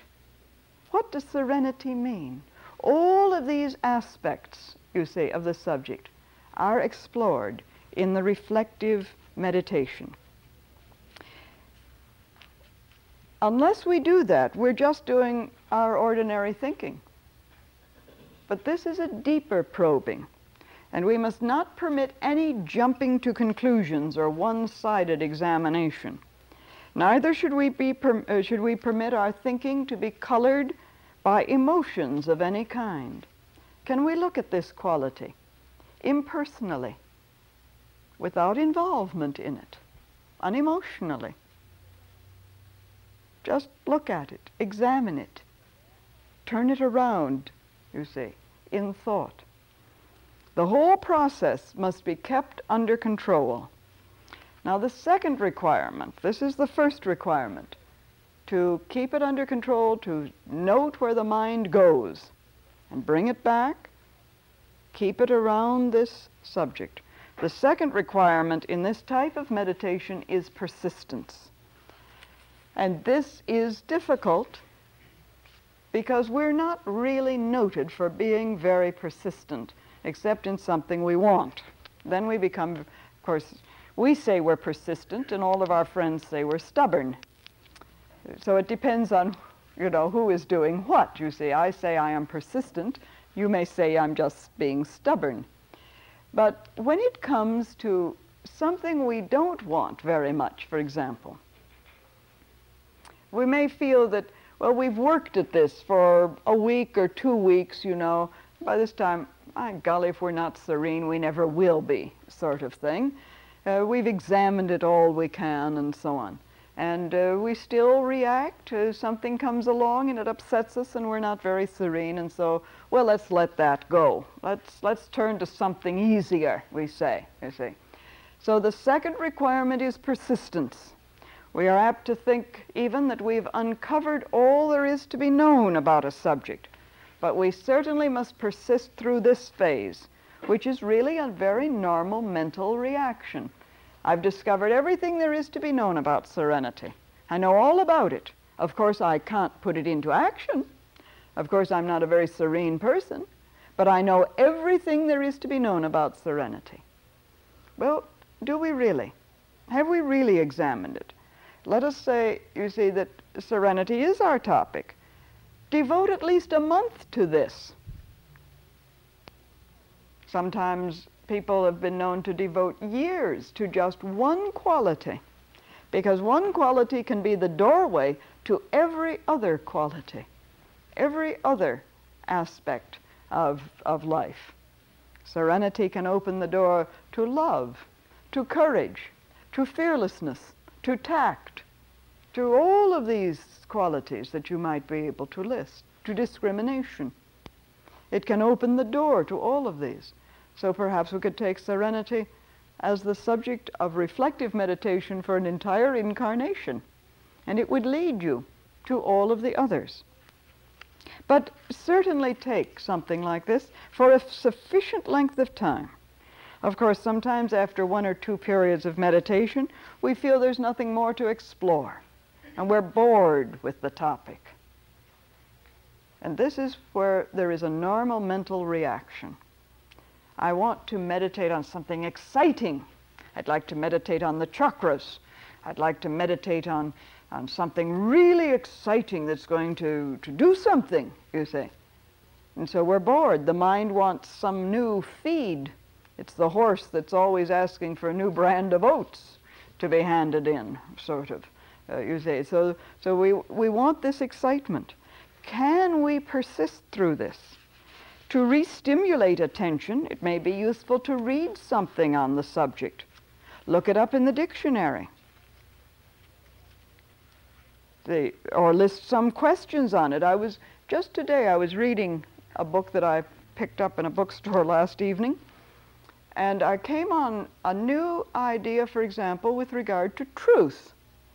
Uh, this is just an illustration how sometimes one's reading can enrich a reflective meditation.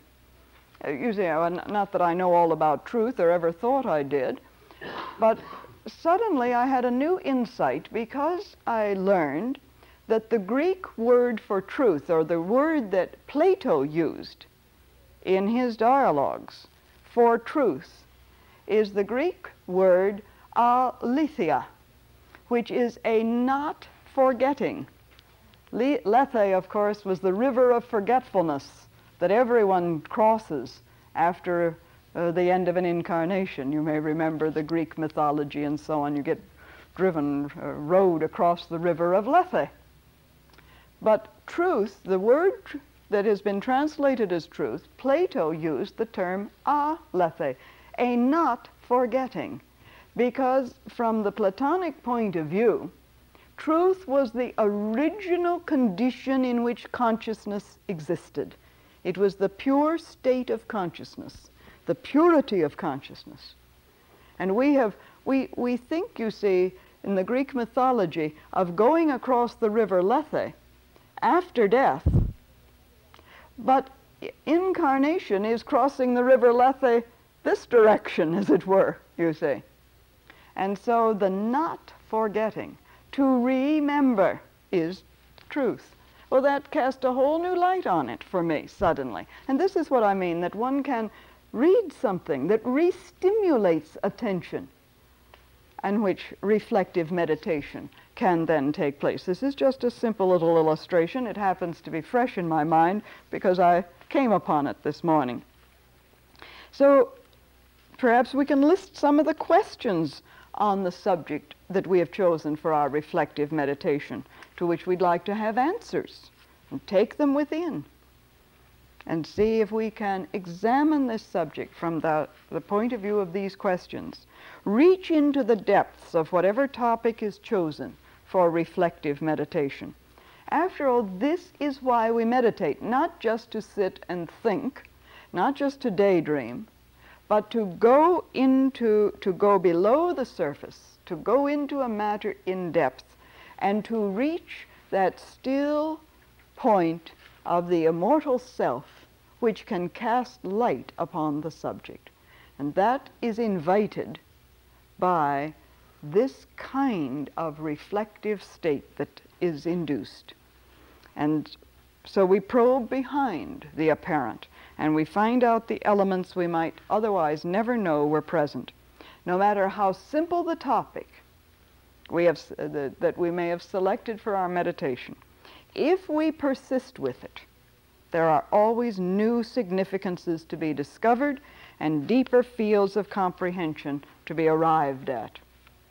There is a, a kind of apocryphal story within the theosophical movement of the occasion when uh, that I say apocryphal because I don't know that it's ever been documented, may not may be true, maybe not true, but it makes an interesting story of when Dr. Annie Besant, one of the great leaders of the Theosophical Society, a, a, very, a, a, magnificent woman who was involved in a great number of social causes and humanitarian causes.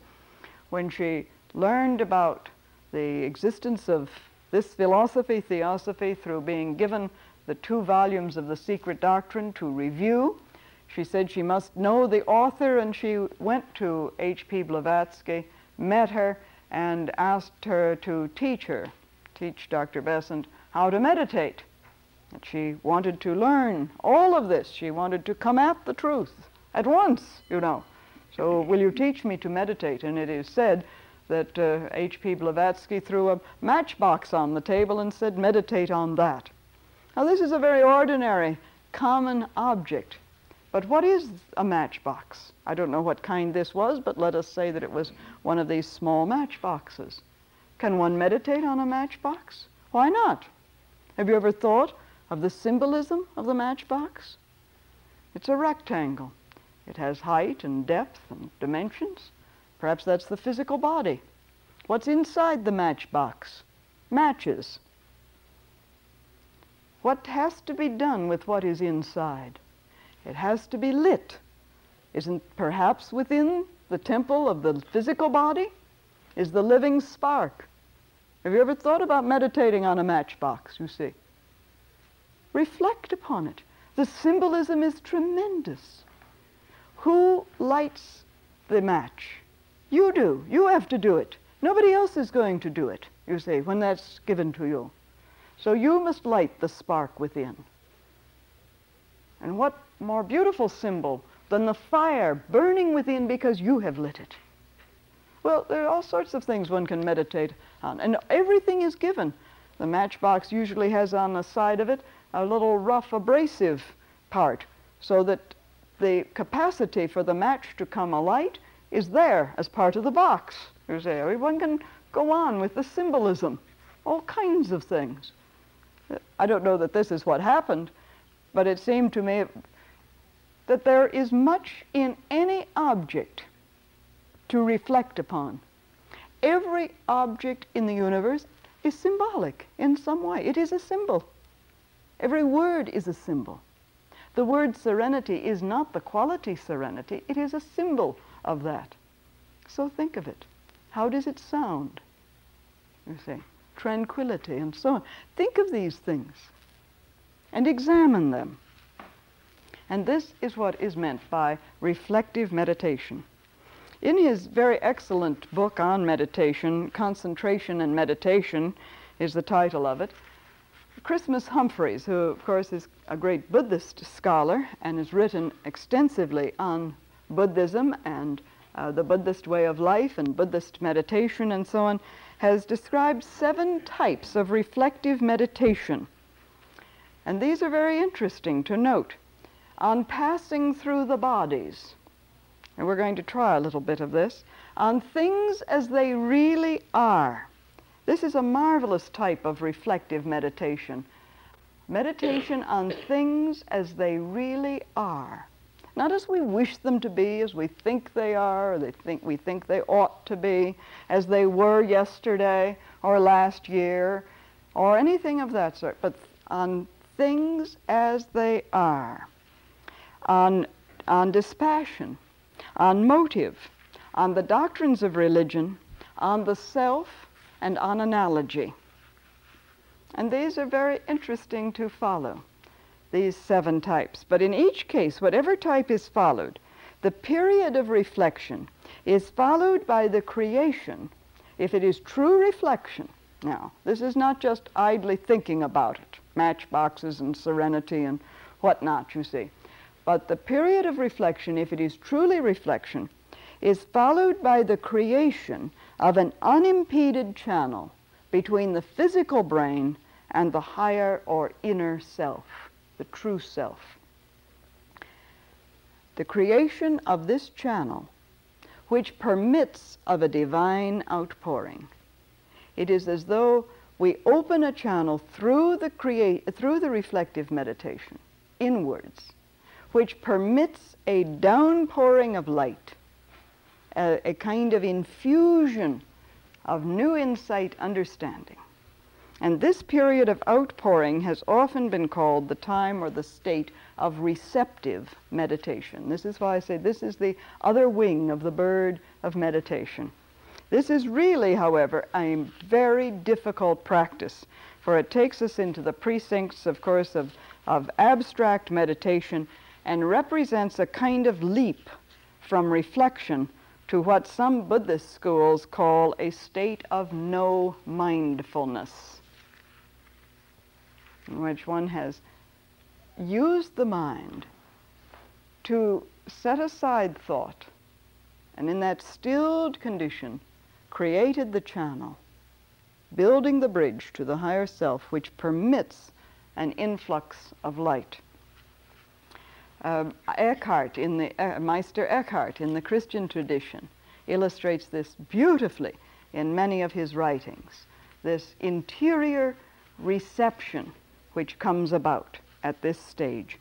Now, the problem is certain dangers are attached to this condition of meditation, for the human mind is already exposed to so many, countless thought currents, impressions, impacts of various kinds, and care must be taken that a state of negativity is not entered into. That we're not talking about a state which permits free access to the mind by all these countless impressions, that this does not take over. So, in one sense, our goal is right receptivity. Now, this is very difficult to define, but this is where a lot of people, I think, and I've seen it, I've, I've, we get letters about it, and I've talked to people in my travels around the world, uh, mostly are here in the United States, who have jumped at once into this kind of receptive meditation without reflection. And it has turned into a negative condition in which there was no longer any control over what was being received, and consequently no discrimination, and everything that came through. It's like uh, rather than being able to turn on your radio to a precise band, you could turn the radio knob and all of the radio waves were present at once. Do you know what I mean? You see? Everything is present at once. Whatever stations were broadcasting, you hear them all together. And you're not able to distinguish then between one and another, nor are you able to evaluate. On one, there may be uh, some advertising for spaghetti, and on another, there may be some beautiful Mozart, and on another, there may be a lecture on. Uh, on higher mathematics and so on. And you will give all of these equal value, you see. And this is what comes to happen if receptive meditation is not the result of reflective meditation, in which the thought, thought processes are controlled, stilled, but controlled, so that you can select, as it were, and give some discrimination to what is impinging on the mind. This is where I mean, this is what I mean by our goal is right receptivity. In one sense, of course, the very recognition of the sea of impacts is, which is all about us, uh, uh, buffeting us, protects us. This very recognition that there is this going on. We're all the time, you right now are being buffeted by my thoughts, you see. It's hard to close me out, in a sense. You do, momentarily, and maybe even more than momentarily, while you go off into your own thought realm, and then suddenly you're buffeted by some word I say, some thought I send out, and so on, you see. But we're all the time being buffeted. And in some sense, this is a protection to us, for it is helpful to realize the endless stream of impressions to which we are exposed subtly and unconsciously, as well as consciously. And knowing this, therefore, we should be on our guard against mass influences that are constantly impinging. And this is happening all the time.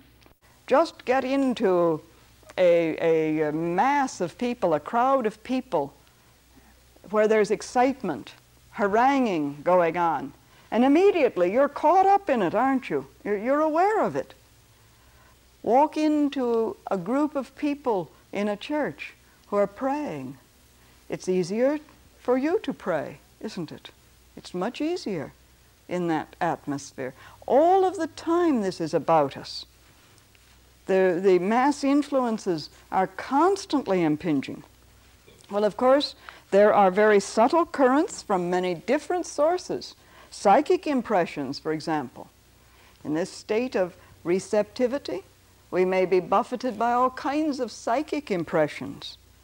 And this is where it is all too easy to make mistakes, not knowing if our thinking is our own or is influenced by some extraneous source, not being able to distinguish whether an impression is of a truly spiritual origin or simply a psychic distortion we have picked up on the astral world, on the way inwards, as it were. Well, there are really no quick and easy answers to this situation, I'll tell you right now.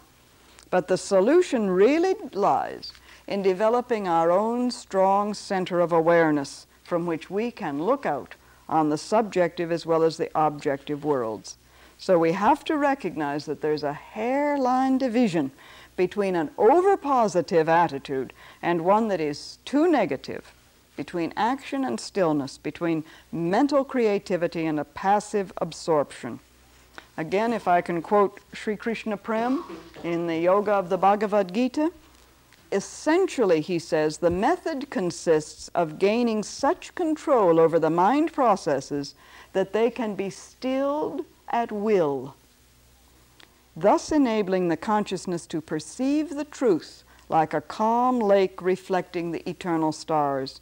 The state, he continues, is not one of mental vacuity as represented by some critics, and still less is it one which is produced by some occult mechanism or other.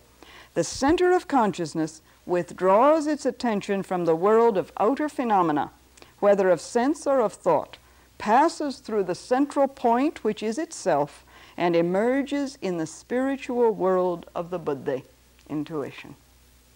Now, this is the process. Very easy to write about, you see, very difficult to achieve. Paul Brunton, in his work, The Wisdom of the Overself, makes very much the same point. Mere mental quiet is an excellent thing as a step on the upward way, but it is not true transcendence.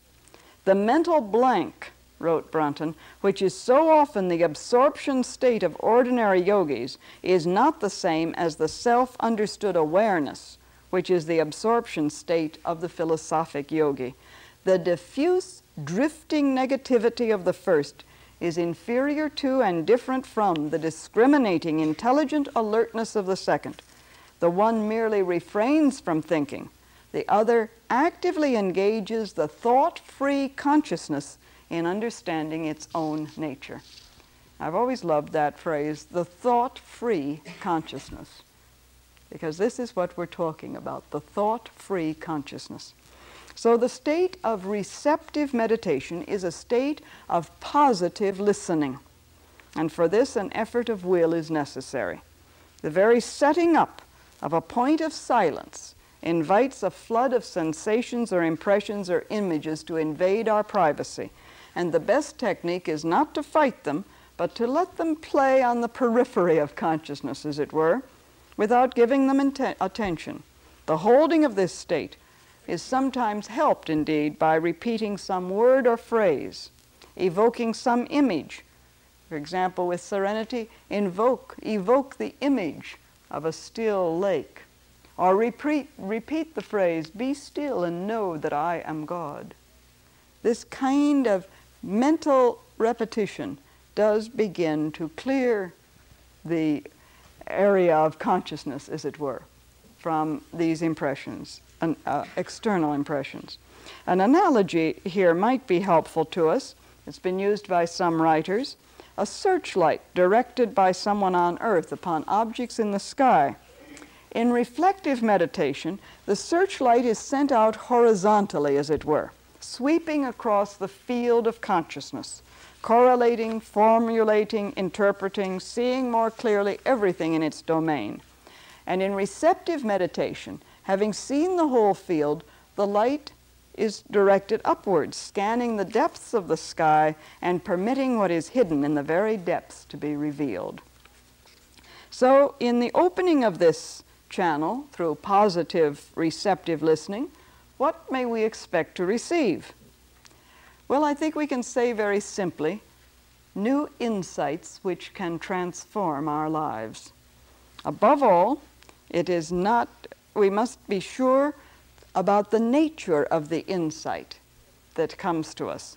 And so I suggest the main criterion, and I am convinced the one that is absolutely the most valid criterion in testing the source of the insight or intuition that comes to us, whatever you wish to call it, is its impersonality.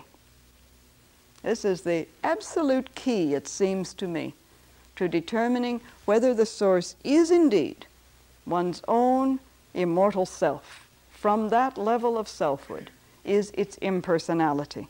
Messages that boost the personality, that flatter and hold high promise, I think are immediately suspect. Don't listen to them. Immediately suspect. Messages that are separative, divisive, personal in any way. And so, to me, the one clear criterion, now there are others, of course, but the one clear one is its impersonality.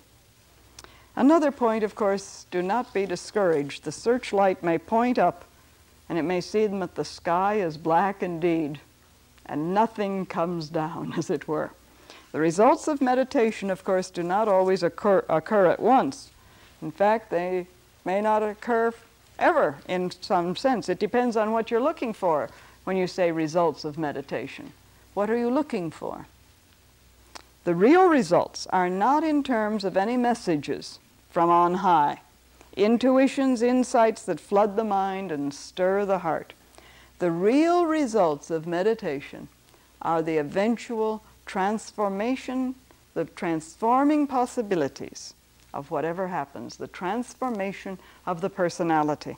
And this, after all, is the goal of, of meditation, the goal of yoga, the goal of all spiritual evolution to transform the personality before trying a meditation that involves reflection and receptivity, I'd like to briefly sketch what may be involved in this type of meditation as related, for example, to the meditation on the nature of the self, one of the seven types that Christmas Humphreys mentions in his book on concentration and meditation.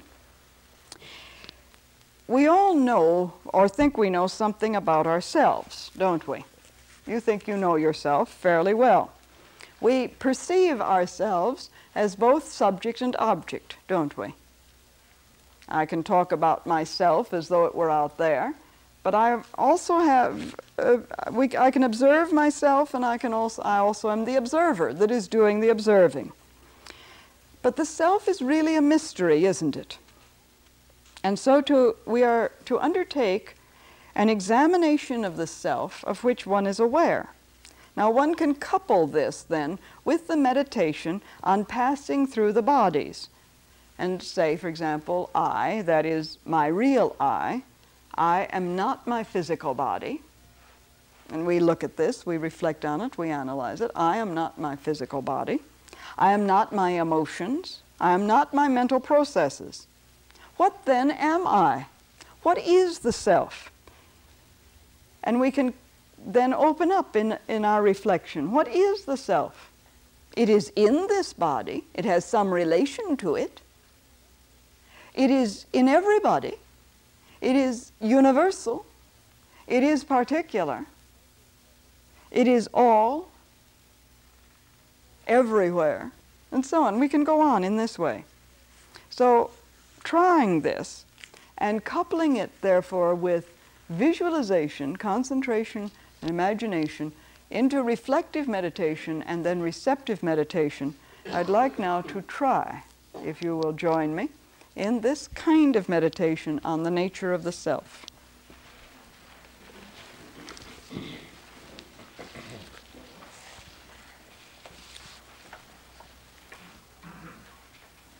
So let us relax, sit easily, however you wish, comfortably. Breathe naturally. Take a deep breath and let it out so that there is a full relaxation. And the vehicles are aligned.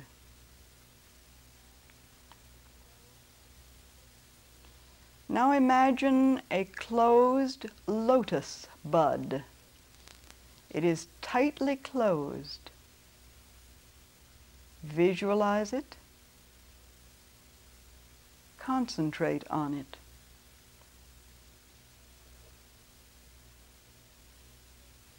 Visualize the shape of the bud, resting on its broad green leaves on the water.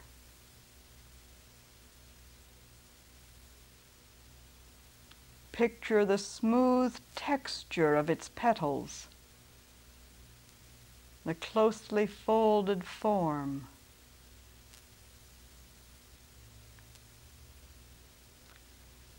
Now visualize the bud opening slowly, revealing petal after petal as the flower opens wider.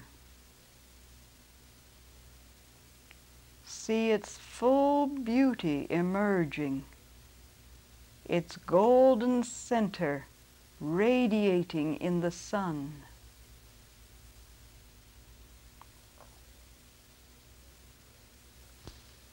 Now hold this picture of the open lotus with a sense of joy and admiration.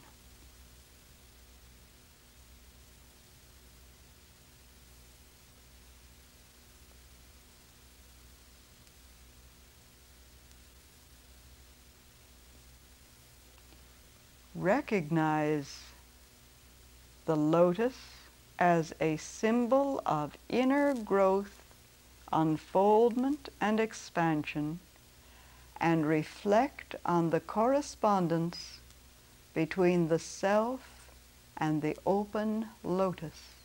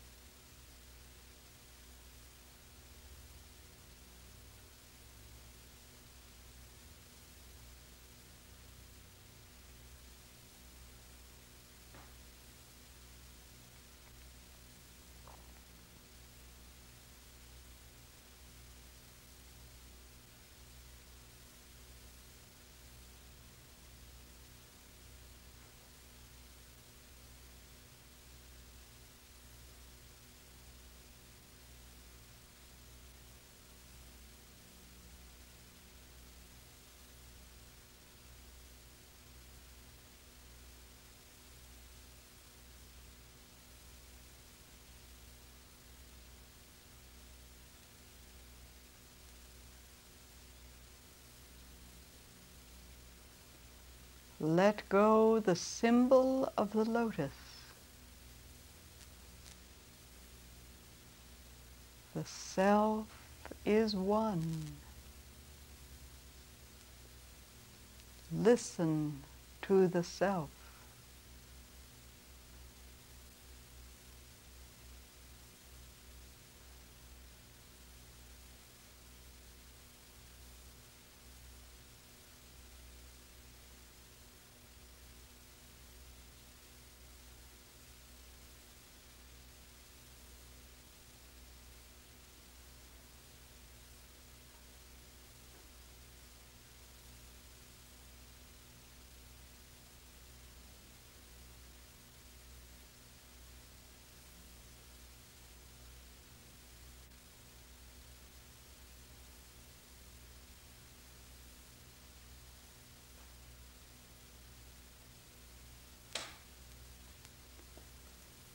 Now let the light of the self flow down into the mind as the sun warms the lotus.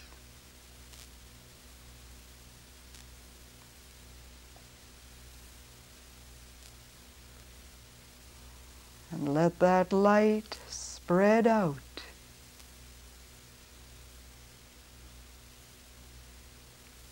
flooding the whole personality.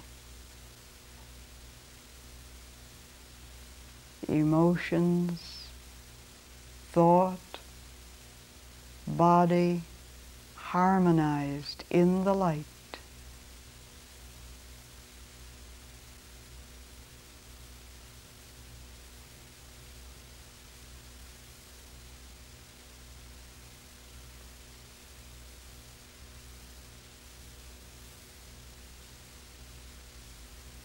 Fold the lotus into a bud and return to the brain consciousness.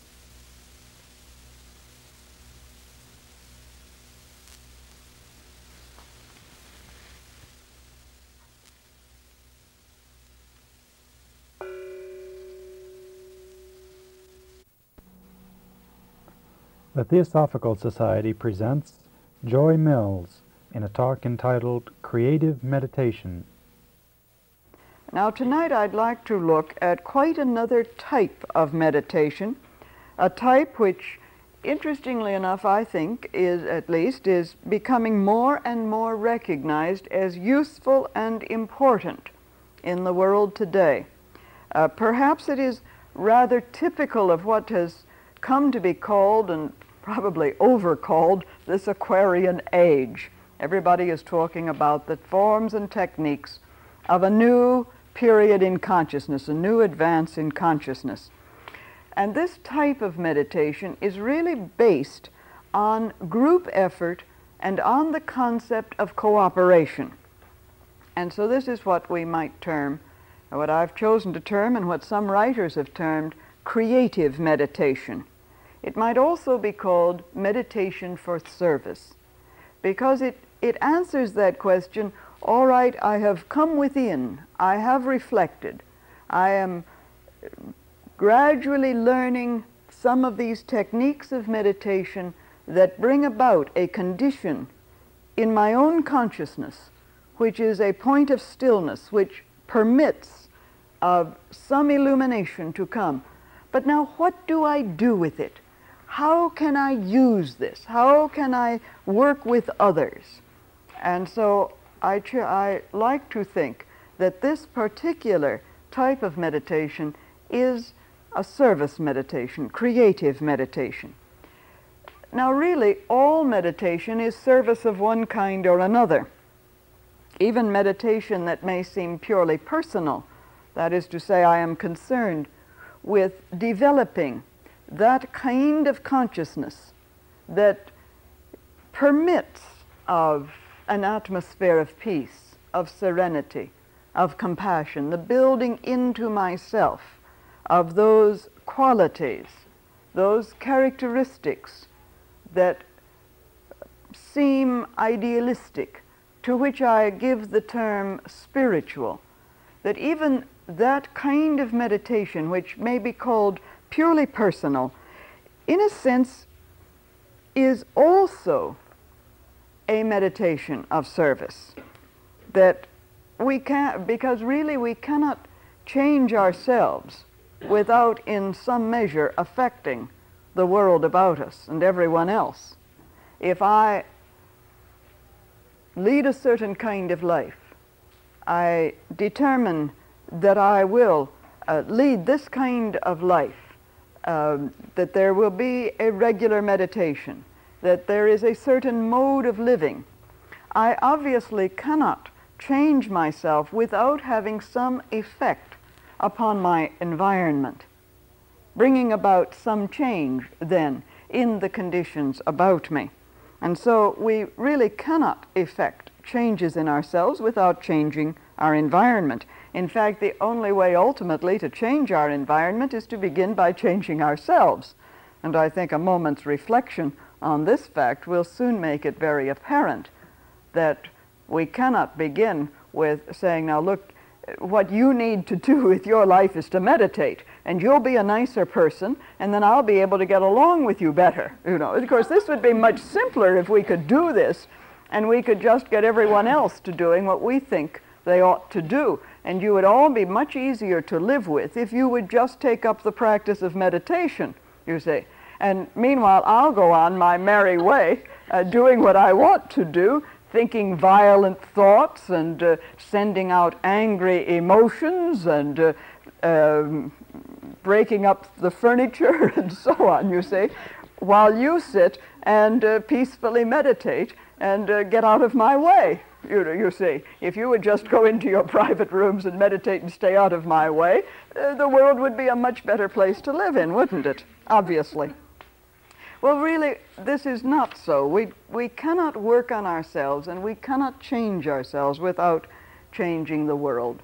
And so the lifting of ourselves to a higher level of awareness, entry into a new and wider area of consciousness, is in and of itself a lifting of the whole.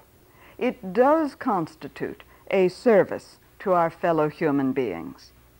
Each one of us, in this sense, each human being, is an intermediary between the world of light and the world of darkness, between the spiritual realm of reality and material, daily, physical existence.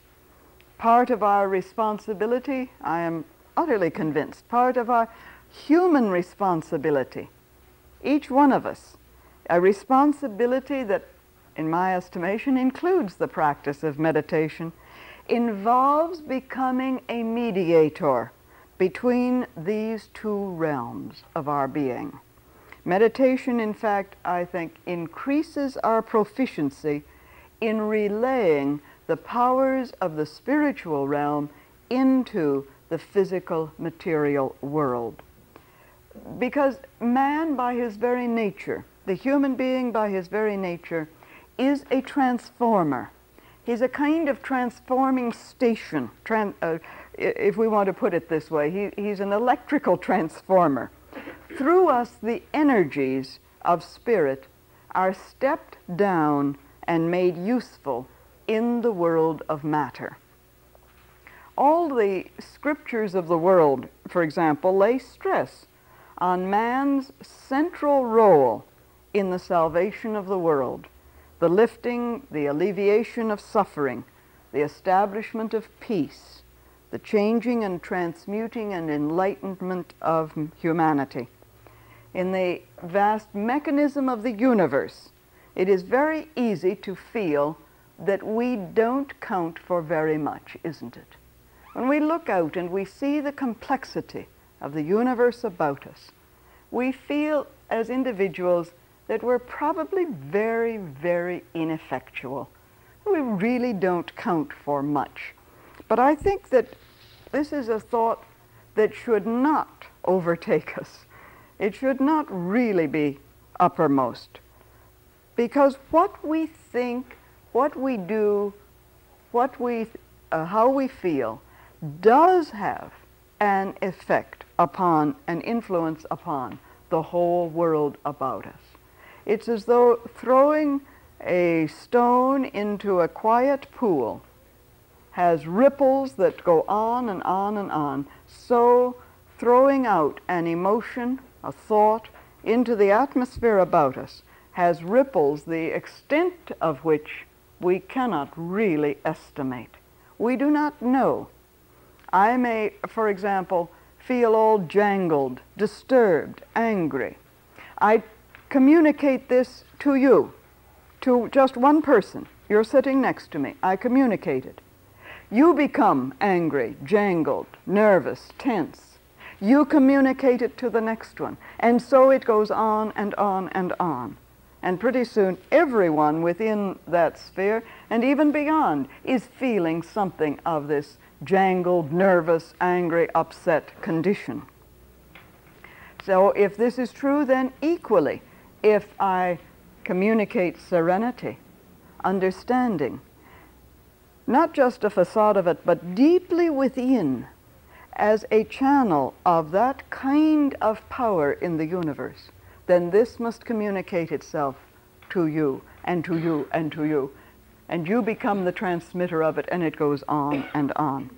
You see, if we accept the premise, and this is a fundamental premise in the theosophical philosophy, if we accept the premise that the entire universe is really a universe, one system, uni, not a multiverse, but a universe, if we really accept this premise that it is an interconnected web of consciousness, what has been called by one writer a psychic tissue in which each one of us is embedded, then I think if we really accept this, if we really come to act upon this, then we must recognize that every thought, every emotion, every desire, feeling, action brings about an effect in this psychic tissue which is the universe.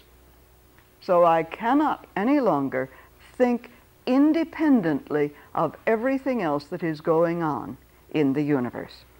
So every time we turn within in meditation, we are linking ourselves not only with our own interior self, but also with infinite powers, with the salvaging forces which we can channel into the thought and emotional atmosphere around us.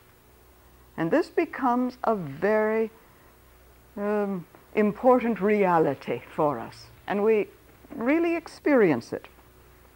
Now, beyond this, however, and this still is talking of this area of individual meditation, as it were, but in which there is always this effect. It becomes creative in that sense.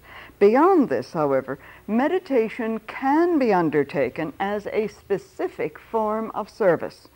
So that while all meditation, as I, as I say, is creative to a certain extent, there can also be a planned creative meditation, utilizing the basics of meditation about which we've spoken so far concentration, visualization, reflection, reception, and directed to a specific service. Creative in that sense that it is directed to a specific service.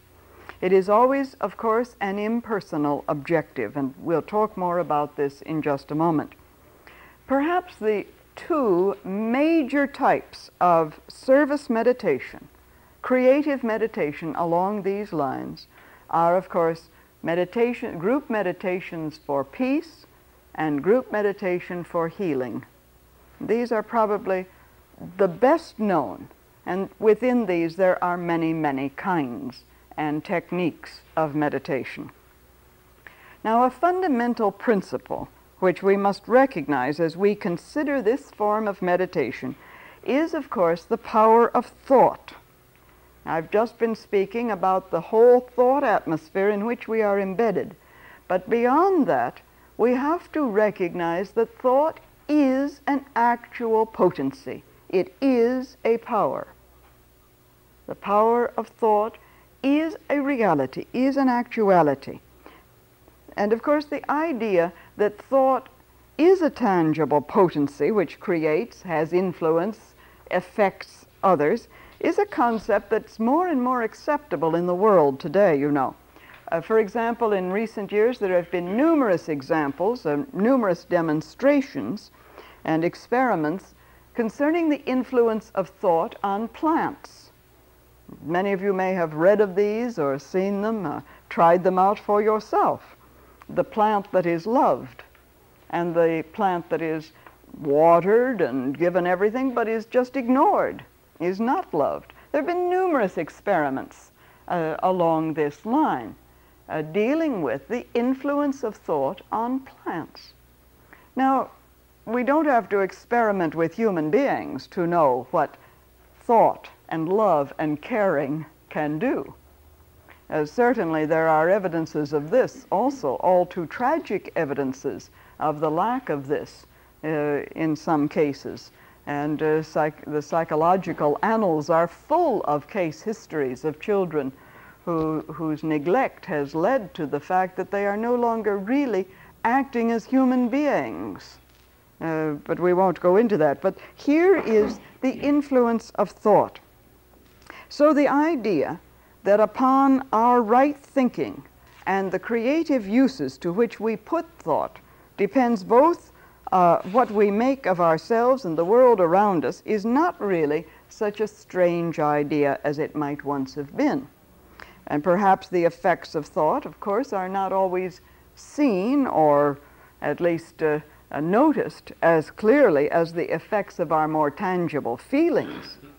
If I feel, um, just in a state of feeling, if I feel anger, for example, and uh, uh, you may be more aware of it than if I am sitting thinking in a meditative state on brotherhood. And you say, well, you know, Uh, the Theosophical Society is filled with members who have been thinking brotherhood for nearly a hundred years and it hasn't come about in the world as yet. So obviously it's all a failure. Uh, you haven't been able to do very much. Um, perhaps we're looking for the wrong results. At least there is a greater awareness in the world than a hundred years ago. Whether this is due to the Theosophical Society, uh, I don't know. Uh, we, we aren't sitting around patting ourselves on the back. We're continuing to do our job of thinking and acting, we hope, and trying to realize this ideal. So we have, because it isn't quite as visible, because it's a little more difficult to see the effects of thought, we have yet to develop, I think, a complete sense of responsibility for our thinking. This is not to say of course, that thought is not as powerful an energy as emotion, but we haven't recognized it. And we perhaps feel, well, I can get away with thinking something. You know, it's as though we can sort of cheat on life. Well, we can't cheat anywhere down the line. You say, I can say to you, oh, how lovely to see you. And all the time in my mind is going on, I wish to heavens you'd get out of my way. You're disturbing me. You know, all the time the mind is going on, you see, and we're saying, how very nice to see you. And inside, we're seething with thoughts that would, you know, demolish you, you say, would destroy you. And we think that this has no effect. We're cheating. This is what I call cheating life because we can't do this. We are responsible for the thoughts that are there. And the thoughts must come. We talked about exercises in alignment early on, you remember, and examined this whole thing of this interior alignment where the mind is going off in one direction and the emotions in another and the physical actions in yet another. So it does follow that to think creatively on that which is needed in ourselves, in others, and in the world will build that ideal, that quality, and strengthen it from within. Thought, in other words, thought rightly used, can recreate both ourselves and our surroundings. I've always loved the admonition in the epistle of St. Paul, the letter of St. Paul to the Romans, and it's one we might well bear in mind.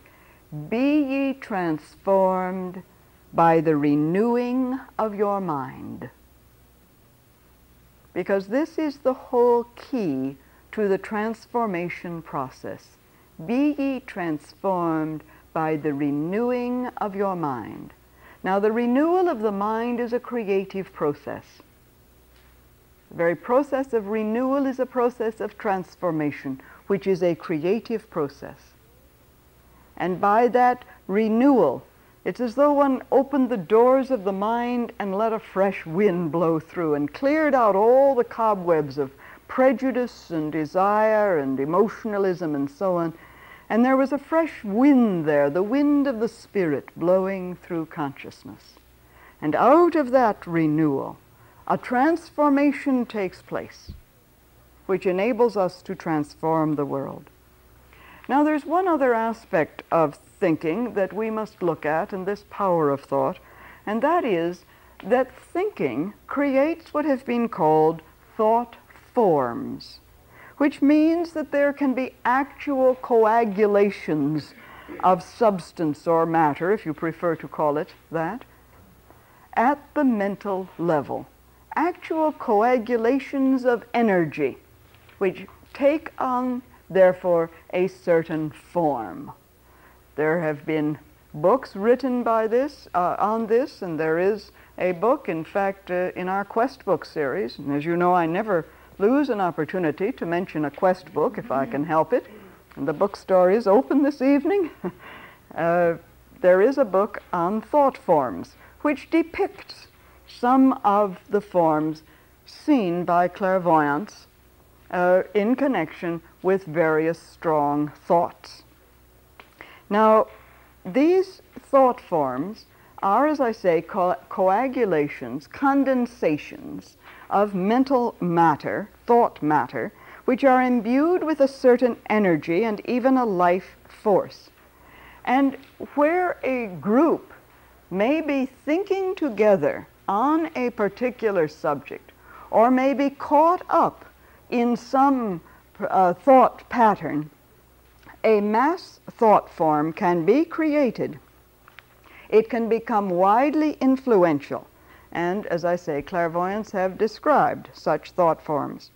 So it may be suggested that the objective of creative meditation is to build a thought for the thought forms in the world that are needed, that are that can be influential in helping other people come into an atmosphere which will induce in them that kind of thought which will be beneficial and helpful.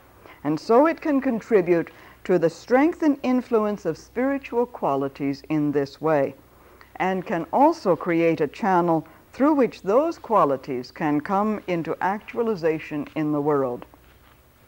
Actually, we do not really initiate the thought forms that we work with because if we are dealing with such matters as peace, healing, enlightenment, we must know that these already exist and our meditation is aimed at strengthening and clarifying them in the mental realm bringing them, as it were, from the archetypal realm of reality into manifestation at the mental level and spreading out so that it is as though participating as we do in this whole psychic tissue, we help to build into that tissue the realization of those qualities which exist at even subtler levels the subtler levels of reality of the Spirit.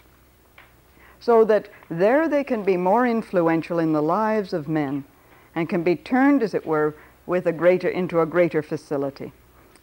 In one sense, our meditation is creative because our work is to transform the universal pool of thought which encompasses us all and in which we are all participating transform it into that kind of thought atmosphere that everyone is in, as it were, that enables each one to receive his own enlightenment.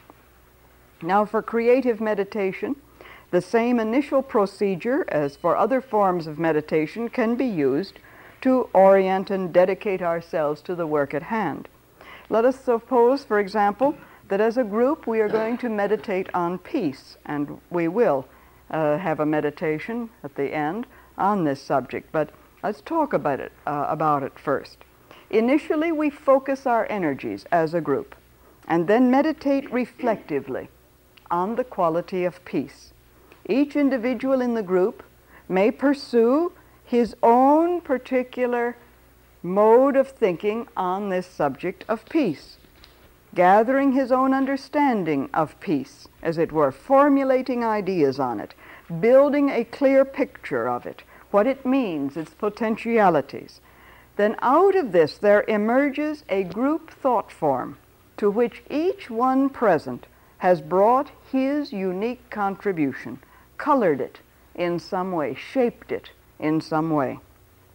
The next step is to meditate receptively, to let go, to permit something else, as it were, from another source, to stop deliberate mental activity in order that as a chalice it opens out to receive a new understanding, a new insight, a new illumination, a new spiritual understanding from a higher or deeper level of our being. From that point, then, we move on in meditate, to meditating creatively, which means that we now direct thought once again, aided by the impressions received during the receptive period to build a deeper or a richer concept of peace. We can, for example, at this point, visualize peace changing conditions in the world. We can see it as transmuting energy the energy that has gone into violence is now transmuted into energy that builds for peace. In this way, we can, as it were, feed the thought reservoir of peace And from this point, we invoke peace, we open the reservoir to let it flow out over the world. Now, to spell out meditation in this way may seem to make it a long, laborious process and rather dull and rather boring. But actually, once a group has the habit of this, has been perhaps meeting together for some time, and each individual in it has this habit, as it were, then each stage can be covered very, very quickly and in a relatively short period of time because there comes about a natural movement. Perhaps the leader needs to say only one word or two words for this movement to flow along in a natural way. There are two further points uh, that we should touch upon in this kind of meditation for service, the creative meditation, before we try uh, this particular meditation tonight and then open it for your discussion and questions and ideas and thoughts and so on on it.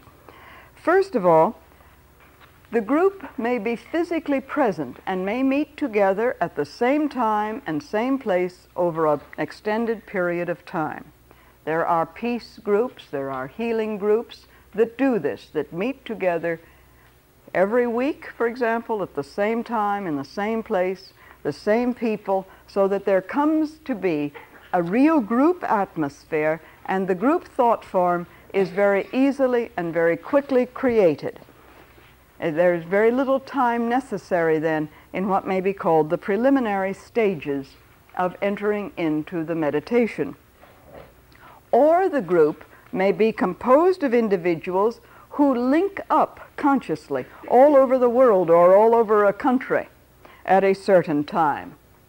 Uh, or perhaps link up at, as it were, different times. In some cases, there has been formed what is what may be considered a round-the-clock healing service, where individuals uh, all around the the world, perhaps, are linking in at particular time in their own country, and it forms a kind of continuous meditation on peace or on healing.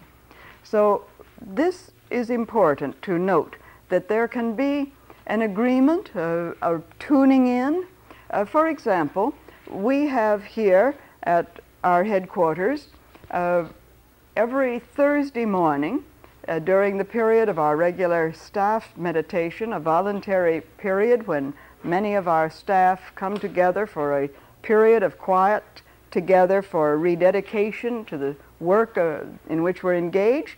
Every Thursday morning, what we call our peace meditation, a meditation for peace in the world. And we have suggested to our members in branches all over the United States that they might like to tune in at that particular time. And I know of many members around the country who do tune in at that time. And I know of individuals who have said to me, I find it easier to do it when I try to tune in at that time. This is because the creation of a thought form does make it easier to tune in again and to link up. And this is an actual fact. Uh, there are healing groups where individuals can tune in at the time of the healing group and receive either benefit or help in the creation of the channel. Now, the second point I'd like to emphasize consists of a kind of warning. And I don't mean to be negative uh, by using this term warning, but it is an aspect that I think we must be extremely clear about in thinking of group meditation and this kind of service meditation, creative meditation.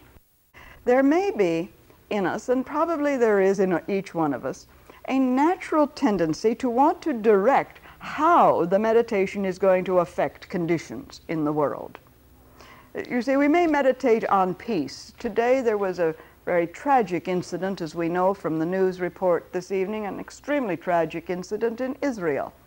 And we may feel, well, uh, we've got to meditate for peace, and all of our meditation is on maybe the Arabs going home, as it were, you know, getting out of there. So we begin to take sides, and we think we know how the situation ought to be solved.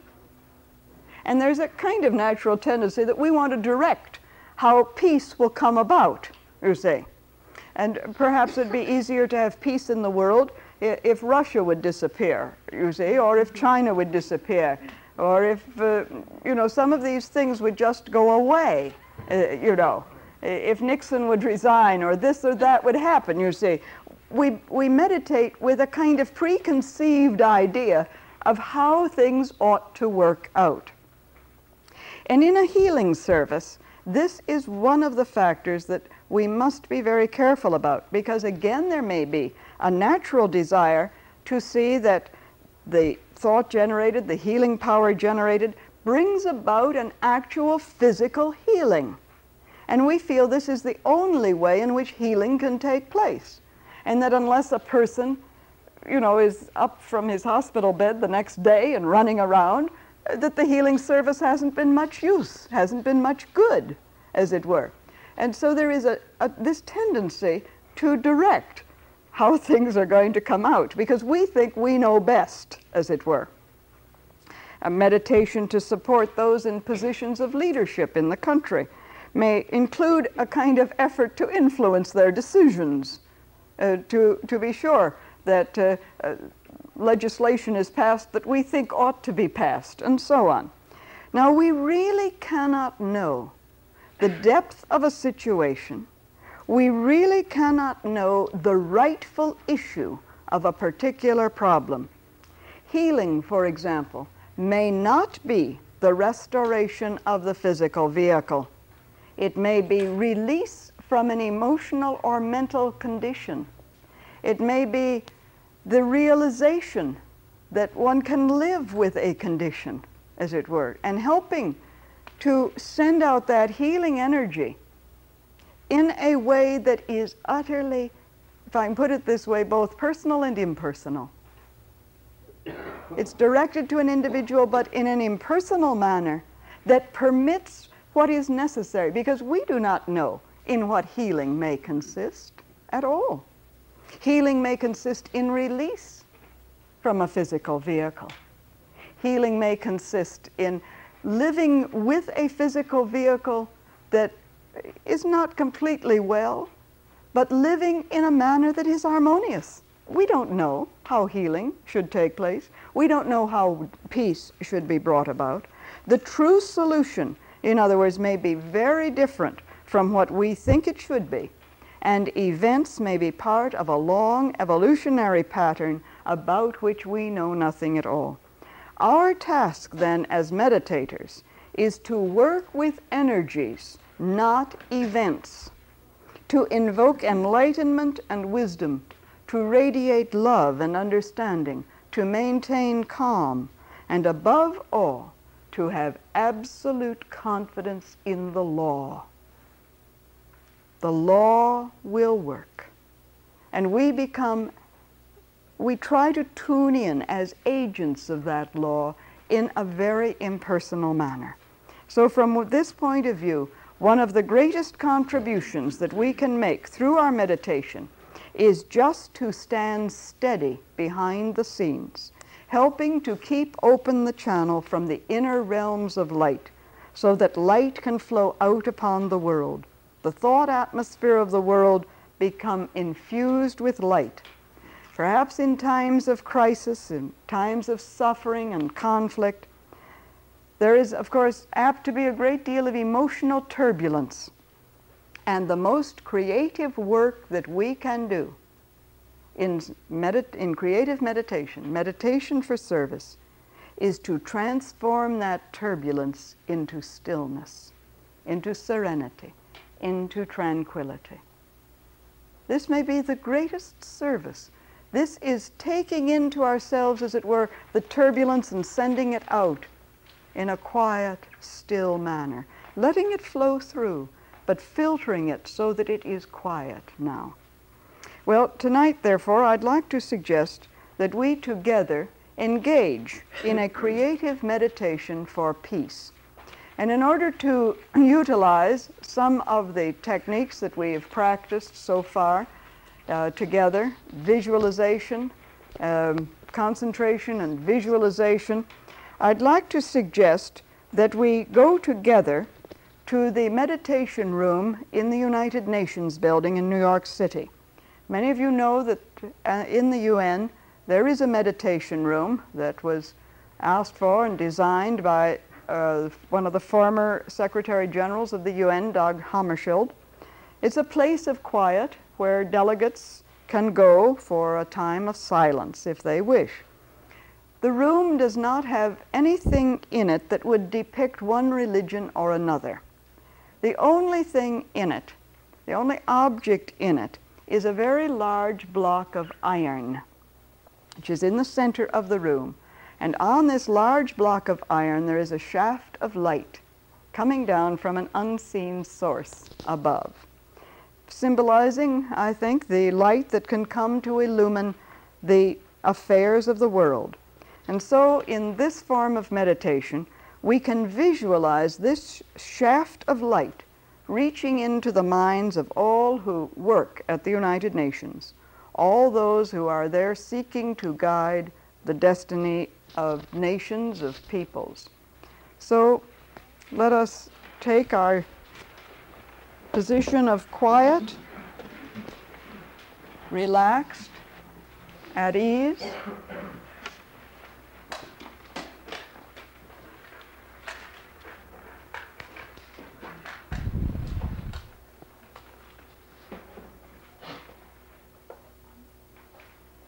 and enter the meditation room in thought, standing for a moment in its silence.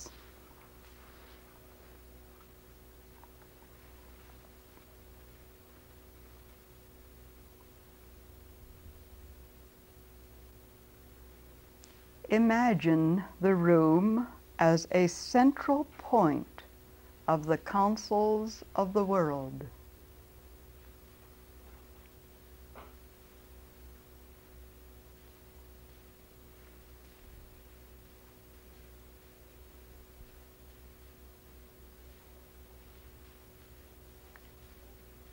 Visualize the room with its symbolic altar in the center, the shaft of light streaming upon it from above.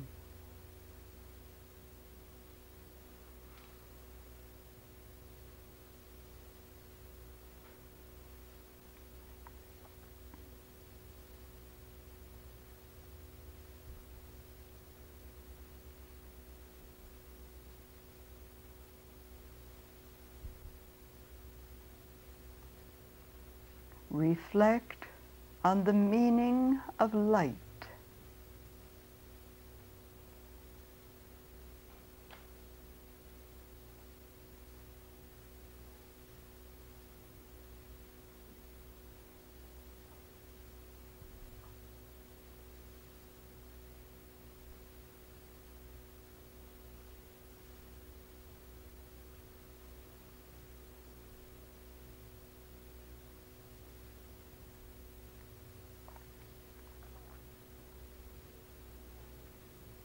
Picture light irradiating the minds of all those working in the General Assembly, all those who are in places of responsibility.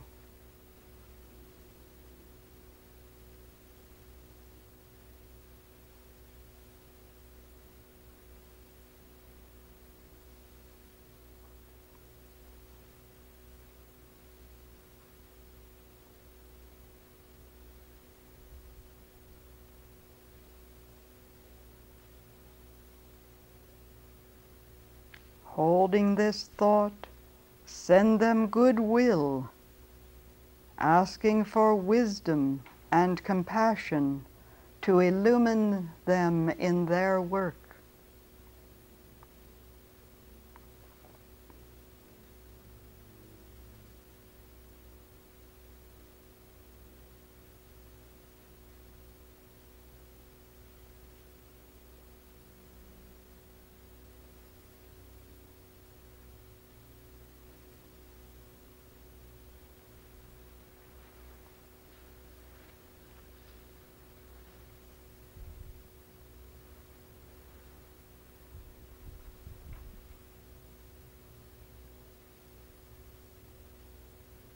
Visualize that light radiating out from the room to all countries, all peoples, all places of conflict, crisis, suffering, or need.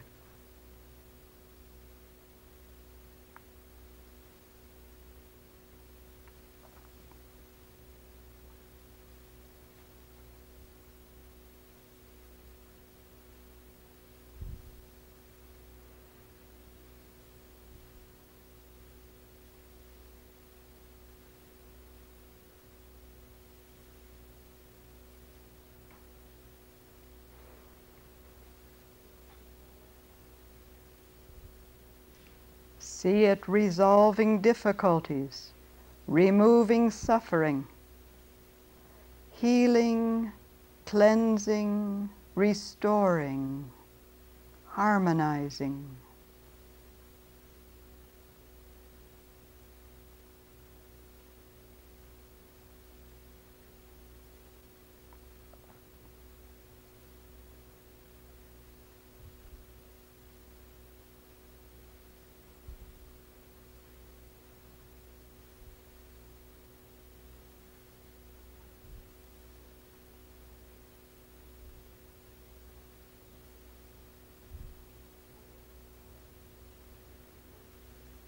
May the forces of light bring illumination to mankind.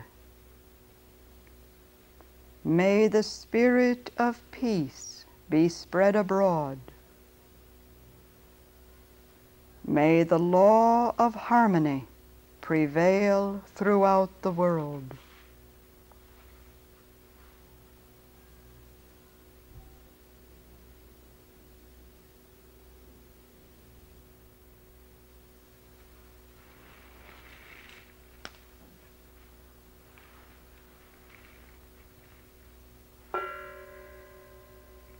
Thank you. The Theosophical Society presents Joy Mills in a talk entitled Integral Meditation. Uh, tonight, in concluding our series, I would like to draw together, if I can, all of the varied threads of our discussions and point up the integrated nature, the wholeness of what may be called the meditative life. At the outset of this series, those who, of you who have been with us through the entire series will remember that I suggested that meditation is an inner silent path, and also that it is a creative act, that it is a path that is inward and that at the same time it is a creative act. I suggested that it is the art of being, the science of the self, the positive achievement of a leap of consciousness in which all areas of consciousness are harmonized, are alert, are focused. Perhaps another way of saying it is that this leap of consciousness is answered by a corresponding, shall we say, descent or illumination that seems to occur, in which a spark is fanned into a flame. Well, so as a consequence of looking at this broad area of meditation, we have given attention to one aspect after another in considering the general principles. We have not attempted in this series to go into detail in each particular school of meditation or each particular technique or form of practice. Although I have tried to suggest, as you know, through the series, that these are principles that underlie all of the great schools, all of the techniques. Certainly, all of those schools to be found in the religious traditions, Christian meditation, the various forms of meditation in Hinduism, in Buddhism, the basis of Buddhist meditation, whether it be the school of Mahayana Buddhism, of Zen Buddhism, of Theravada Buddhism, whether it is in Islam, any of the great traditions, there are common principles. And so, what I have tried to do in this series is to look at these common principles. The inner alignment of the vehicles of consciousness, first of all.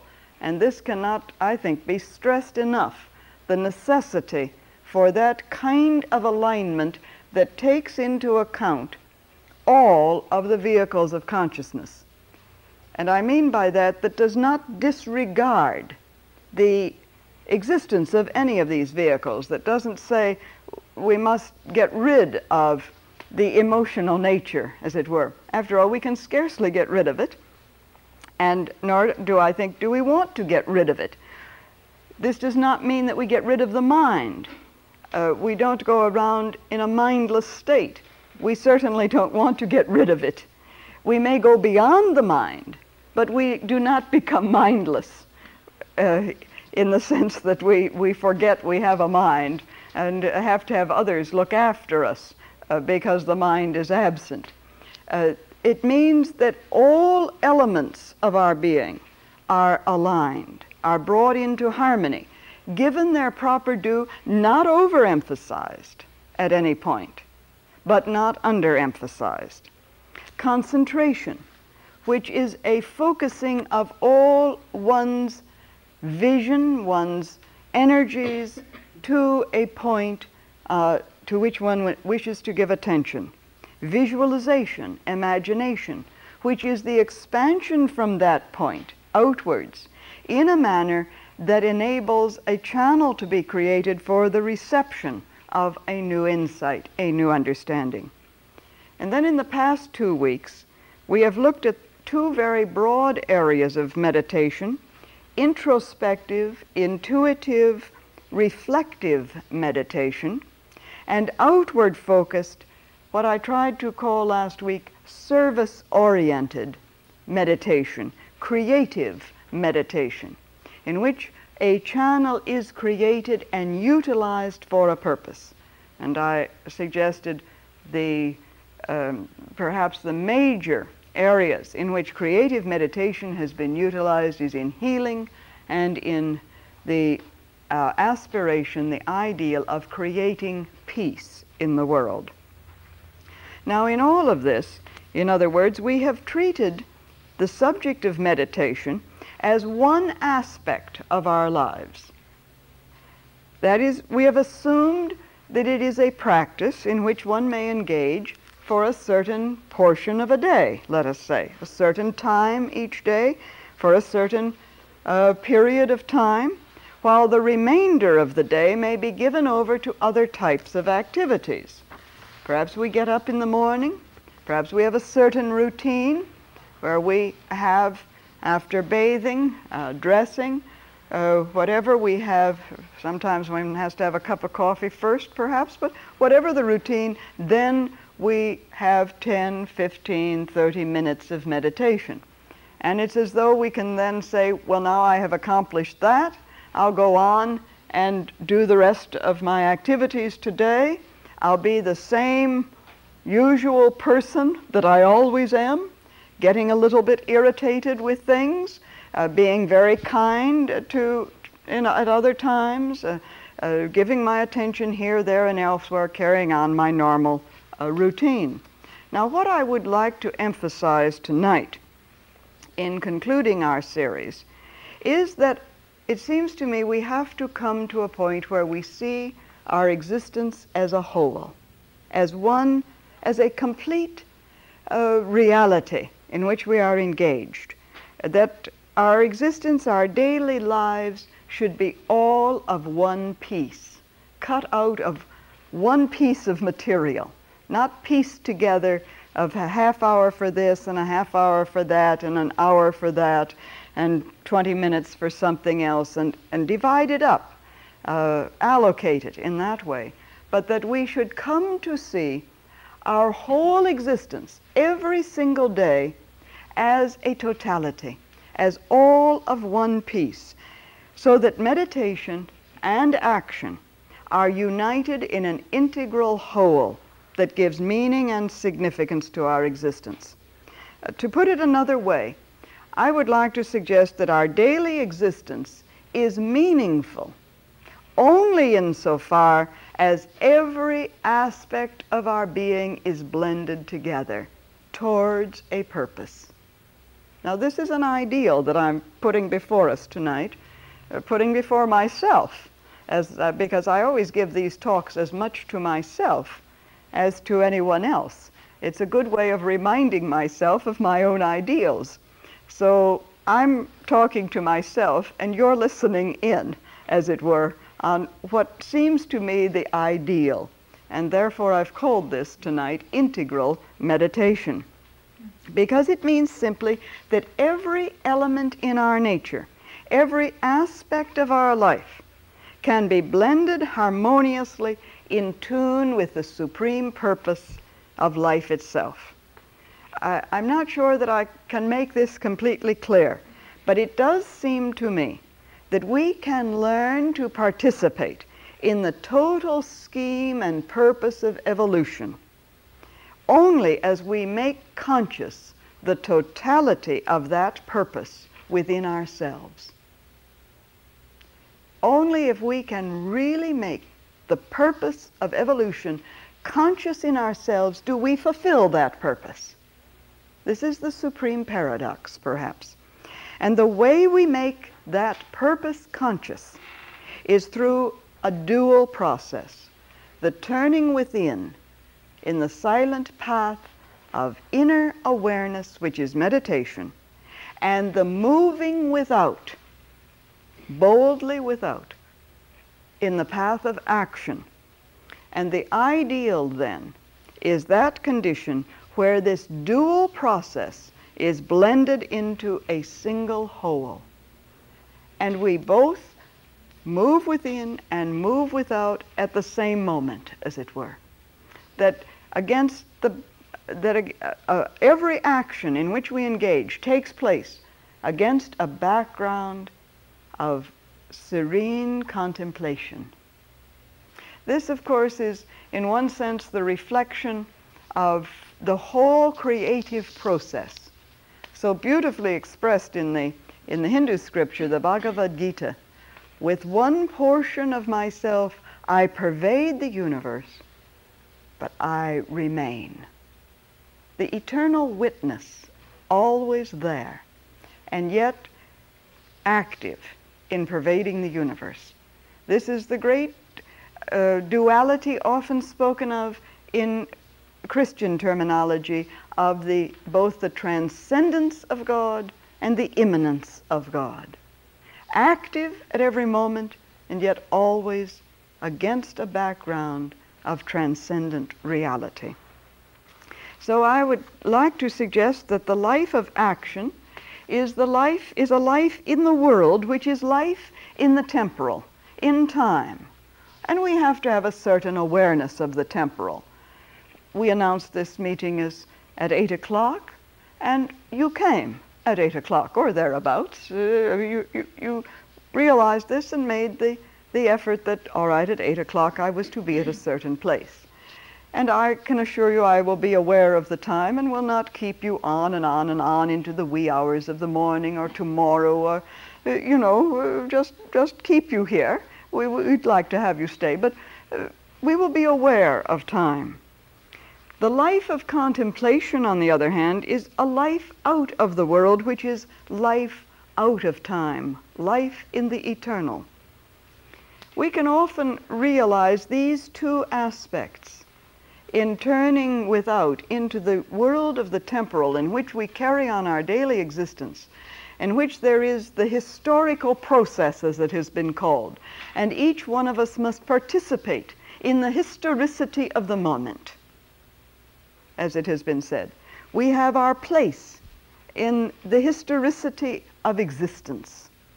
At the same time, the life of contemplation gives us a doorway into the non-temporal world of reality, which is the eternal. Now the blending of these two, this is integral meditation. I suggest you see that there is a way of engaging in a living relationship with both the temporal and the eternal. a relationship, in other words, between activity and what may be called the spiritual life, the spiritual pursuit, in which these two aspects of life are seen not as separated, but as united, one with the other. Again, to quote the Bhagavad Gita, which is such a beautiful scripture, there is the statement Now you shall hear how a man may become perfect if he devotes himself to the work which is natural to him. A man will reach perfection if he does his duty as an act of worship to the Lord, who is the source of the universe, prompting all action everywhere present. So we act, but with this background, which meditation provides for us, which becomes then an action that is a worship. In the heart of the Christian tradition, there is the ideal which has been set by the great example, the Master Jesus, who it is said, by his incarnation gathered into one things earthly and heavenly. Who could act, but always acted out of the consciousness that I and my Father are one. And following that particular tradition, the great mystic John Ruysbroeck wrote of the individual who lives his life in these two ways, namely in work and in rest. And in each he is whole and undivided. Now, this is the clue, you see. He lives his life in two ways in work and in rest. And in each he is whole and undivided for he is wholly in God because he rests in fruition, and he is wholly in himself because he lives in activity, and he is perpetually called and urged by God to renew both the rest and the work. A very beautiful statement. So we, in one sense, are touching upon the whole subject which we have explored in previous series here, the whole area of mysticism because it does touch upon this area, of course. I, I think, uh, as I uh, read and so on, that no one in our time has perhaps more elegantly and beautifully expressed what has been called the co-inherence between the temporal and the eternal than Teilhard de Chardin, who combined in himself the mystic, the priest, and the scientist, the paleontologist, who was out there in the fields and the digs, you know.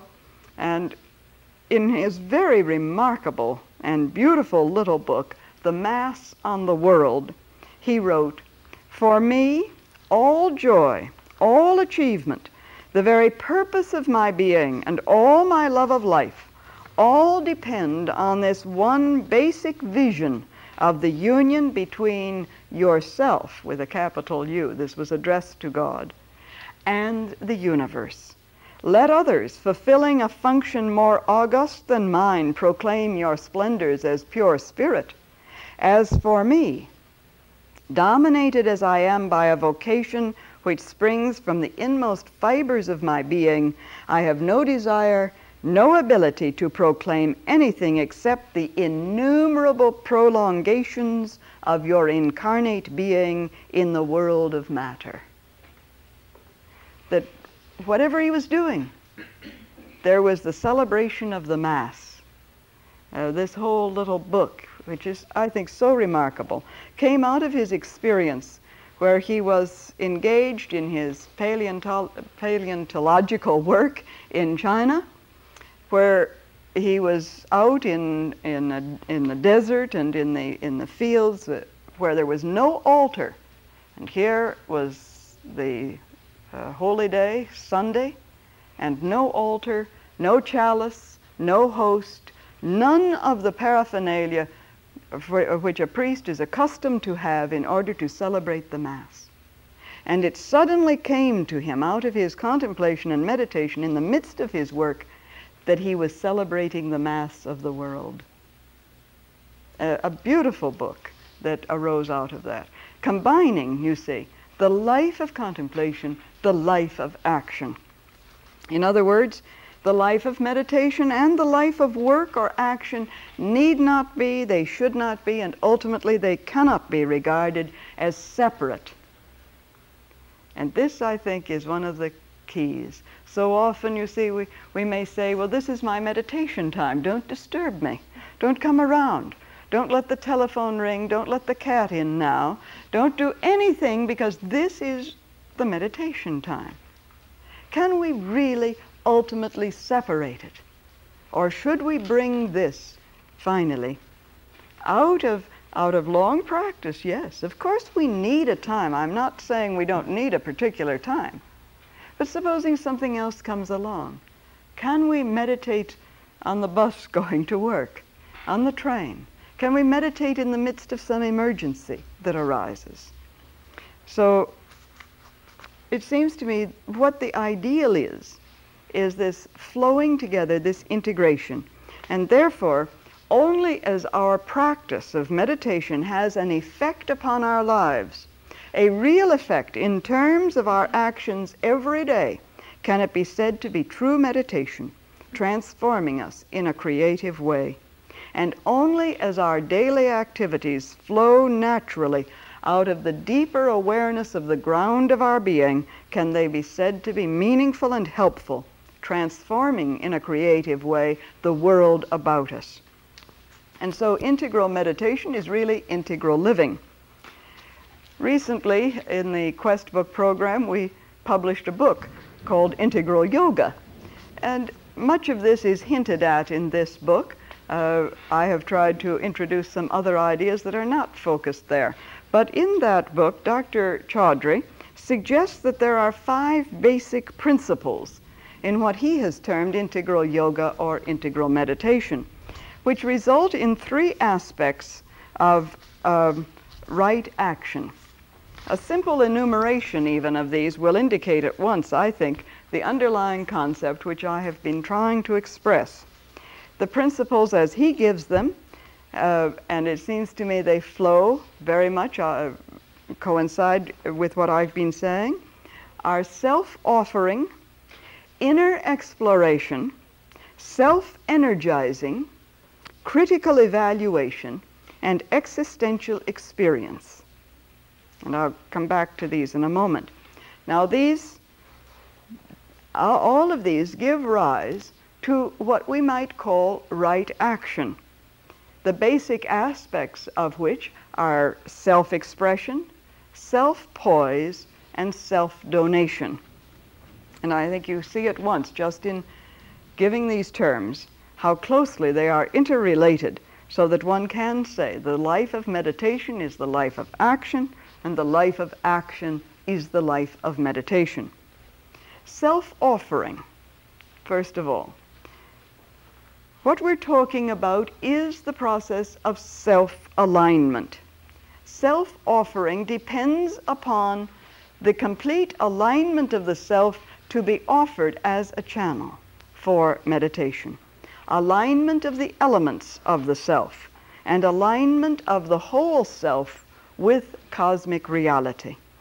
It is an offering, therefore, in the sense that this alignment is brought about by the recognition that there is a purpose, which is the integration of the individual with the universal creative process.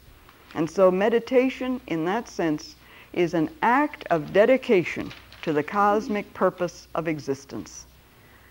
And as we do perform that act of dedication, it is a self offering. But in order to perform this act, self exploration is necessary, which includes both the observation, uh, the observation of both the self and the not self, which calls for the techniques of concentration and imagination.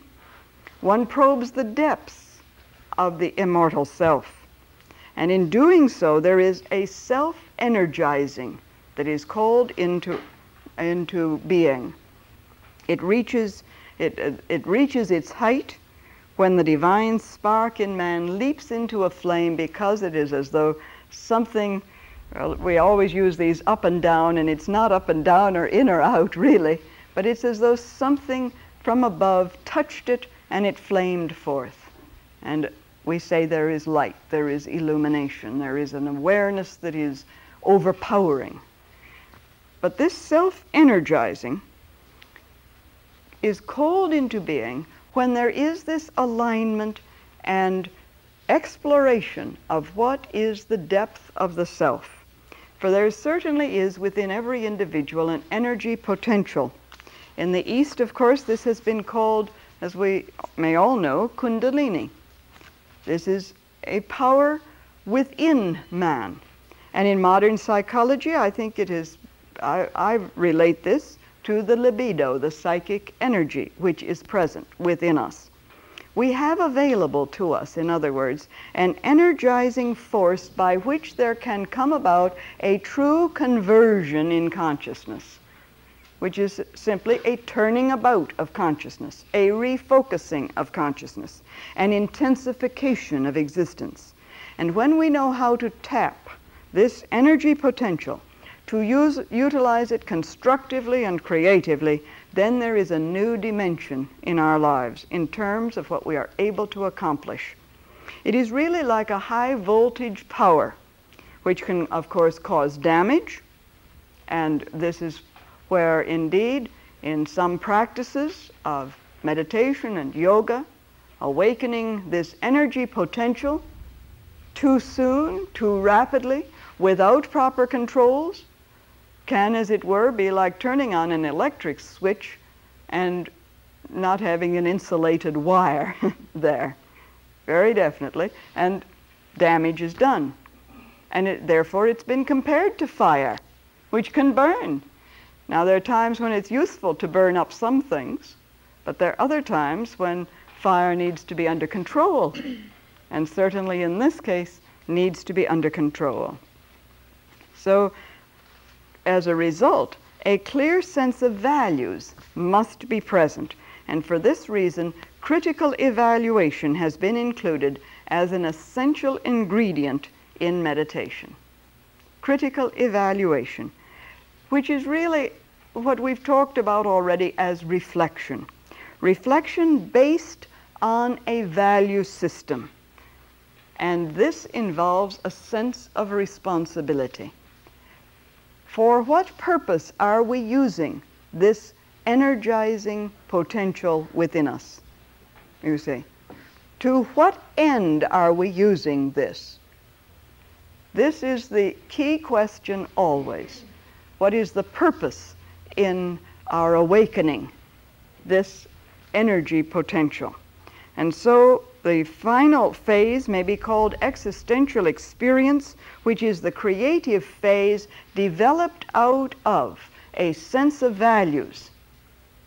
That, in other words, I, uh, if I engage in the practice of meditation, it is in order that I may in some manner become a better channel for service in the world. There is a purpose beyond the immediate personal self. May contribute in some meaningful manner because I believe the universe is meaningful. And this phase then is based on some kind of direct insight into the ultimate ground of existence. We bring the non temporal now into the temporal. We make immanent the transcendent. There is freedom and spontaneity in action because we act in harmony with the underlying law, the universal law of life. Action, in, no, in other words, and here is where we turn now from this inward movement. Action now is no longer engaging in some humdrum task from which we hope to escape just as soon as possible in order to return to meditation which often is the way. If we can wash the dishes twice as fast, even if we break all the cups, at least we can get back to the peace and quiet of meditation. If we can get the children off to school half an hour earlier, perhaps we'll have time for meditation, even if it means they're standing out in the cold waiting for the school bus. Uh, whatever it may be, if we can cook a quicker dinner, uh, we can get back to meditation sooner or have a longer period, and so on action is often seen as simply an, um, uh, as an escape, or uh, uh, we hope to escape from it in order to return to this inner condition. But in this condition, in this awareness of the freedom and spontaneity of action which arises naturally out of the contemplative life, it is not the imprisonment of the soul, but its creative release in daily existence. I act because I must act in the world as it is, and I act in accordance with the need at the moment. Action then does not degenerate into routine or become mechanized. It is creative and it is recreative because it flows from an inner spirit of constant awareness. It flows from an attitude of mind and heart that is always present no matter what we are doing. And so action comes to have three aspects self expression, self poise, and self donation. Self expression means simply that each individual has his own unique center of being and becoming. In the Sanskrit, it is called Svadharma, his own particular beingness, the isness of the individual. And when he has touched that center through meditation, his action outwardly is an expression of that self being or self becoming, and so the action becomes meaningful, joyous, free. It is the natural action that flows because he has touched his own center of the self, his own immortality. When we have touched this, this deep center of what is the essential being, what is our own essential nature through meditation, there comes, I think, a self poise in all our actions. A quiet confidence is born, a confidence out of which there is the courage to act in accordance with our own nature, svadharma, our own interior being. The courage to act in accordance with the deep center within. And this self poise, I think, is so seen, it's so demonstrated, evidenced in the saints, the mystics, in the, in the really ordinary individuals who have engaged in meditation over a long period of time. One is aware of an interior poise that nothing outside seems to disturb. We are enabled to maintain an inward calm and even temper in the midst of all the changes of fortune. One acts and yet does not act. It is a kind of non action in action because there is a core of imperturbability in all our movements. Not an easy condition, but an ideal condition. As I said earlier, I'm giving this talk to myself to remind myself that this can be present so that an emergency arises, there is that center that is never touched by that emergency. One acts and yet does not act. And so, out of this self poise, which results from true self expression, action is done as a self donation, a self giving. One gives oneself wholly where he is. I think so often of a beautiful little book that I came upon some years ago, written by a member of the Society of Friends, the Quaker movement.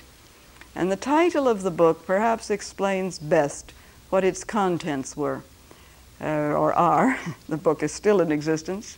The title simply was Being Present Where One Is. Being present where one is. Now, it is this kind of self giving that arises as an action, quite naturally, out of this background of meditation. How often we are not present where we are. My physical body may be before you. I may seem to be giving you my attention, but I am not present. I, my mind is going on about what I'm going to do tonight, what I'm going to do tomorrow, what I'm going to do next week. And I'm thinking, I wonder how quickly I can get away from this person. How can I escape? Is there some way I can end this conversation? Uh, all sorts of things are going on, and we are not present. So, being present where one is is the completion of this action in which there is a full self giving of oneself. For in this, our ultimate loyalty is to the inward vision of truth, but our action is hallowed because it is offered without any preconditions, without any reserve, on the altar of the ultimate good of all humanity. This, of course, is the final self giving, the action that is out of the expression of that interior vision of the immortal self, which is one in the, with the self in all, which gives that poise of confidence that enables one to act truly at the moment. And in that action, gives himself fully to whatever is the action. So, this is what I suggest is the whole reason, really, for undertaking meditation at all, for even beginning the practice of meditation, is for this essential purpose that this will come about the integral meditation that is the integrated life, in which meditation and action are mutually balanced, harmonized, and there is the complete flow. Meditation becomes such an integral part of our lives that it is no longer only a practice engaged in whenever we find it convenient or for a certain period each day, regardless of any other need. We may continue to practice it in that way, and I would hope we would. And indeed, this is necessary because the more we practice, just as the pianist does not, the, the genius in the piano does not cease to practice his scales. He continues to practice every day. So, in the li- this life, a period of time, yes, is devoted to the practice of meditation. But it comes to the point where this forms the background of our entire life. And then, therefore, as I've said, when an emergency arises, and we cannot meditate at our usual time but are disturbed for some reason, the meditation still takes place even as we act to meet whatever the need that has arisen. And this is, as I say, what I mean by integral meditation. And if meditation uh, does not serve that purpose, I think, quite frankly, we have missed a very essential value in our lives We've missed a, something that is thrilling, that is joyous, that is recreative constantly, so that we are always new people, inwardly renewed. Our actions are no longer just reactions, they are truly actions flowing from that center. So, obviously, there is no one meditation that will illustrate what I've been talking about no one meditation that will give, as it were, the, the summation of this kind of, of integral meditation. But tonight, therefore, I'd like to use for our meditation together one that I think perhaps begins to open the way to this kind of integrated and whole approach to the subject of, of the life that is complete in meditation, in action. And so, if we can have a period of meditation now, as we have been having each week,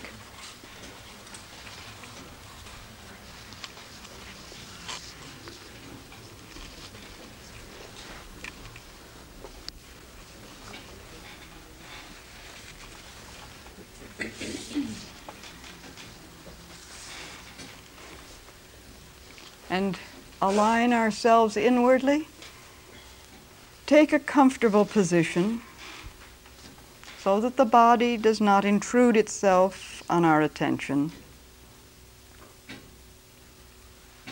We feel inwardly quiet, at ease.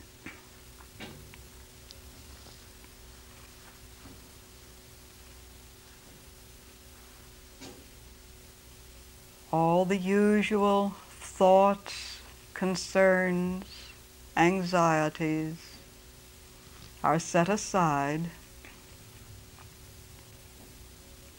and the mind is still as a deep pool,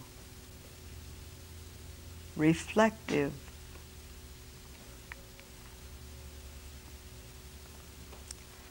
Look for the light. The light is hidden everywhere. It is in every rock and in every stone. The light is nearer than aught else within a man's very heart. All comes forth from the light, and to the light all shall return. Look for the light.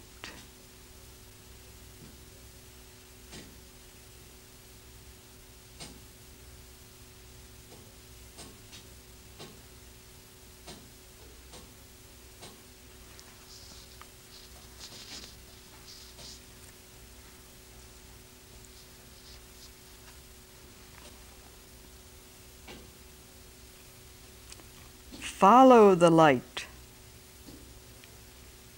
The sun's rays shine on all alike. He who would feel their warmth upon his skin must leave his shut in cave and seek the open air.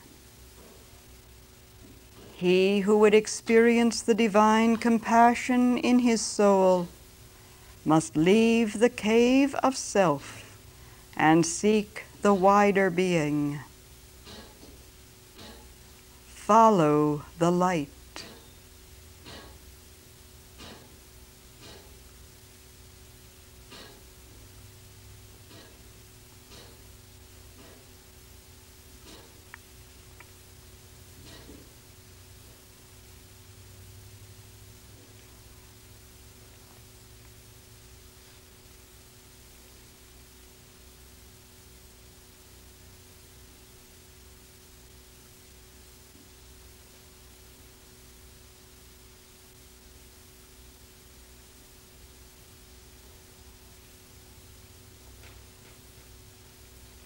I am the light.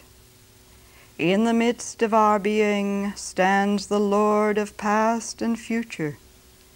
The inner self is always seated in the heart of man. Let a man draw that self forth from his body with steadiness. Let him know that self as the bright, as the immortal, yea, as the bright, as the immortal. I am the light.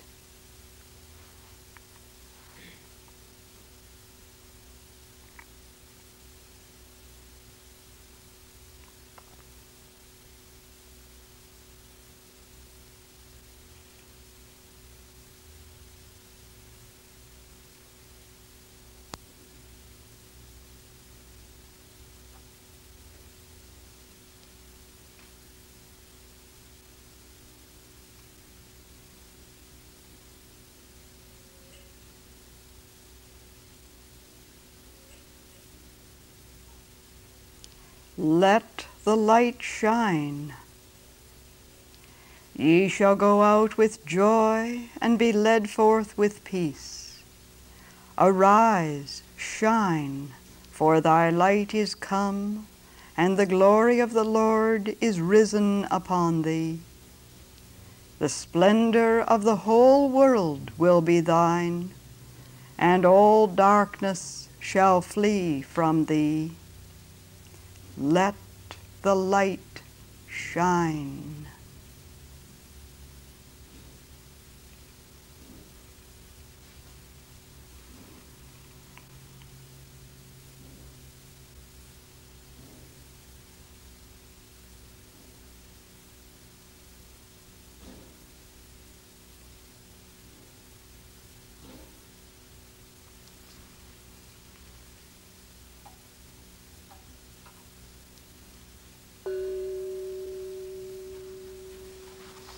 Thank you very much.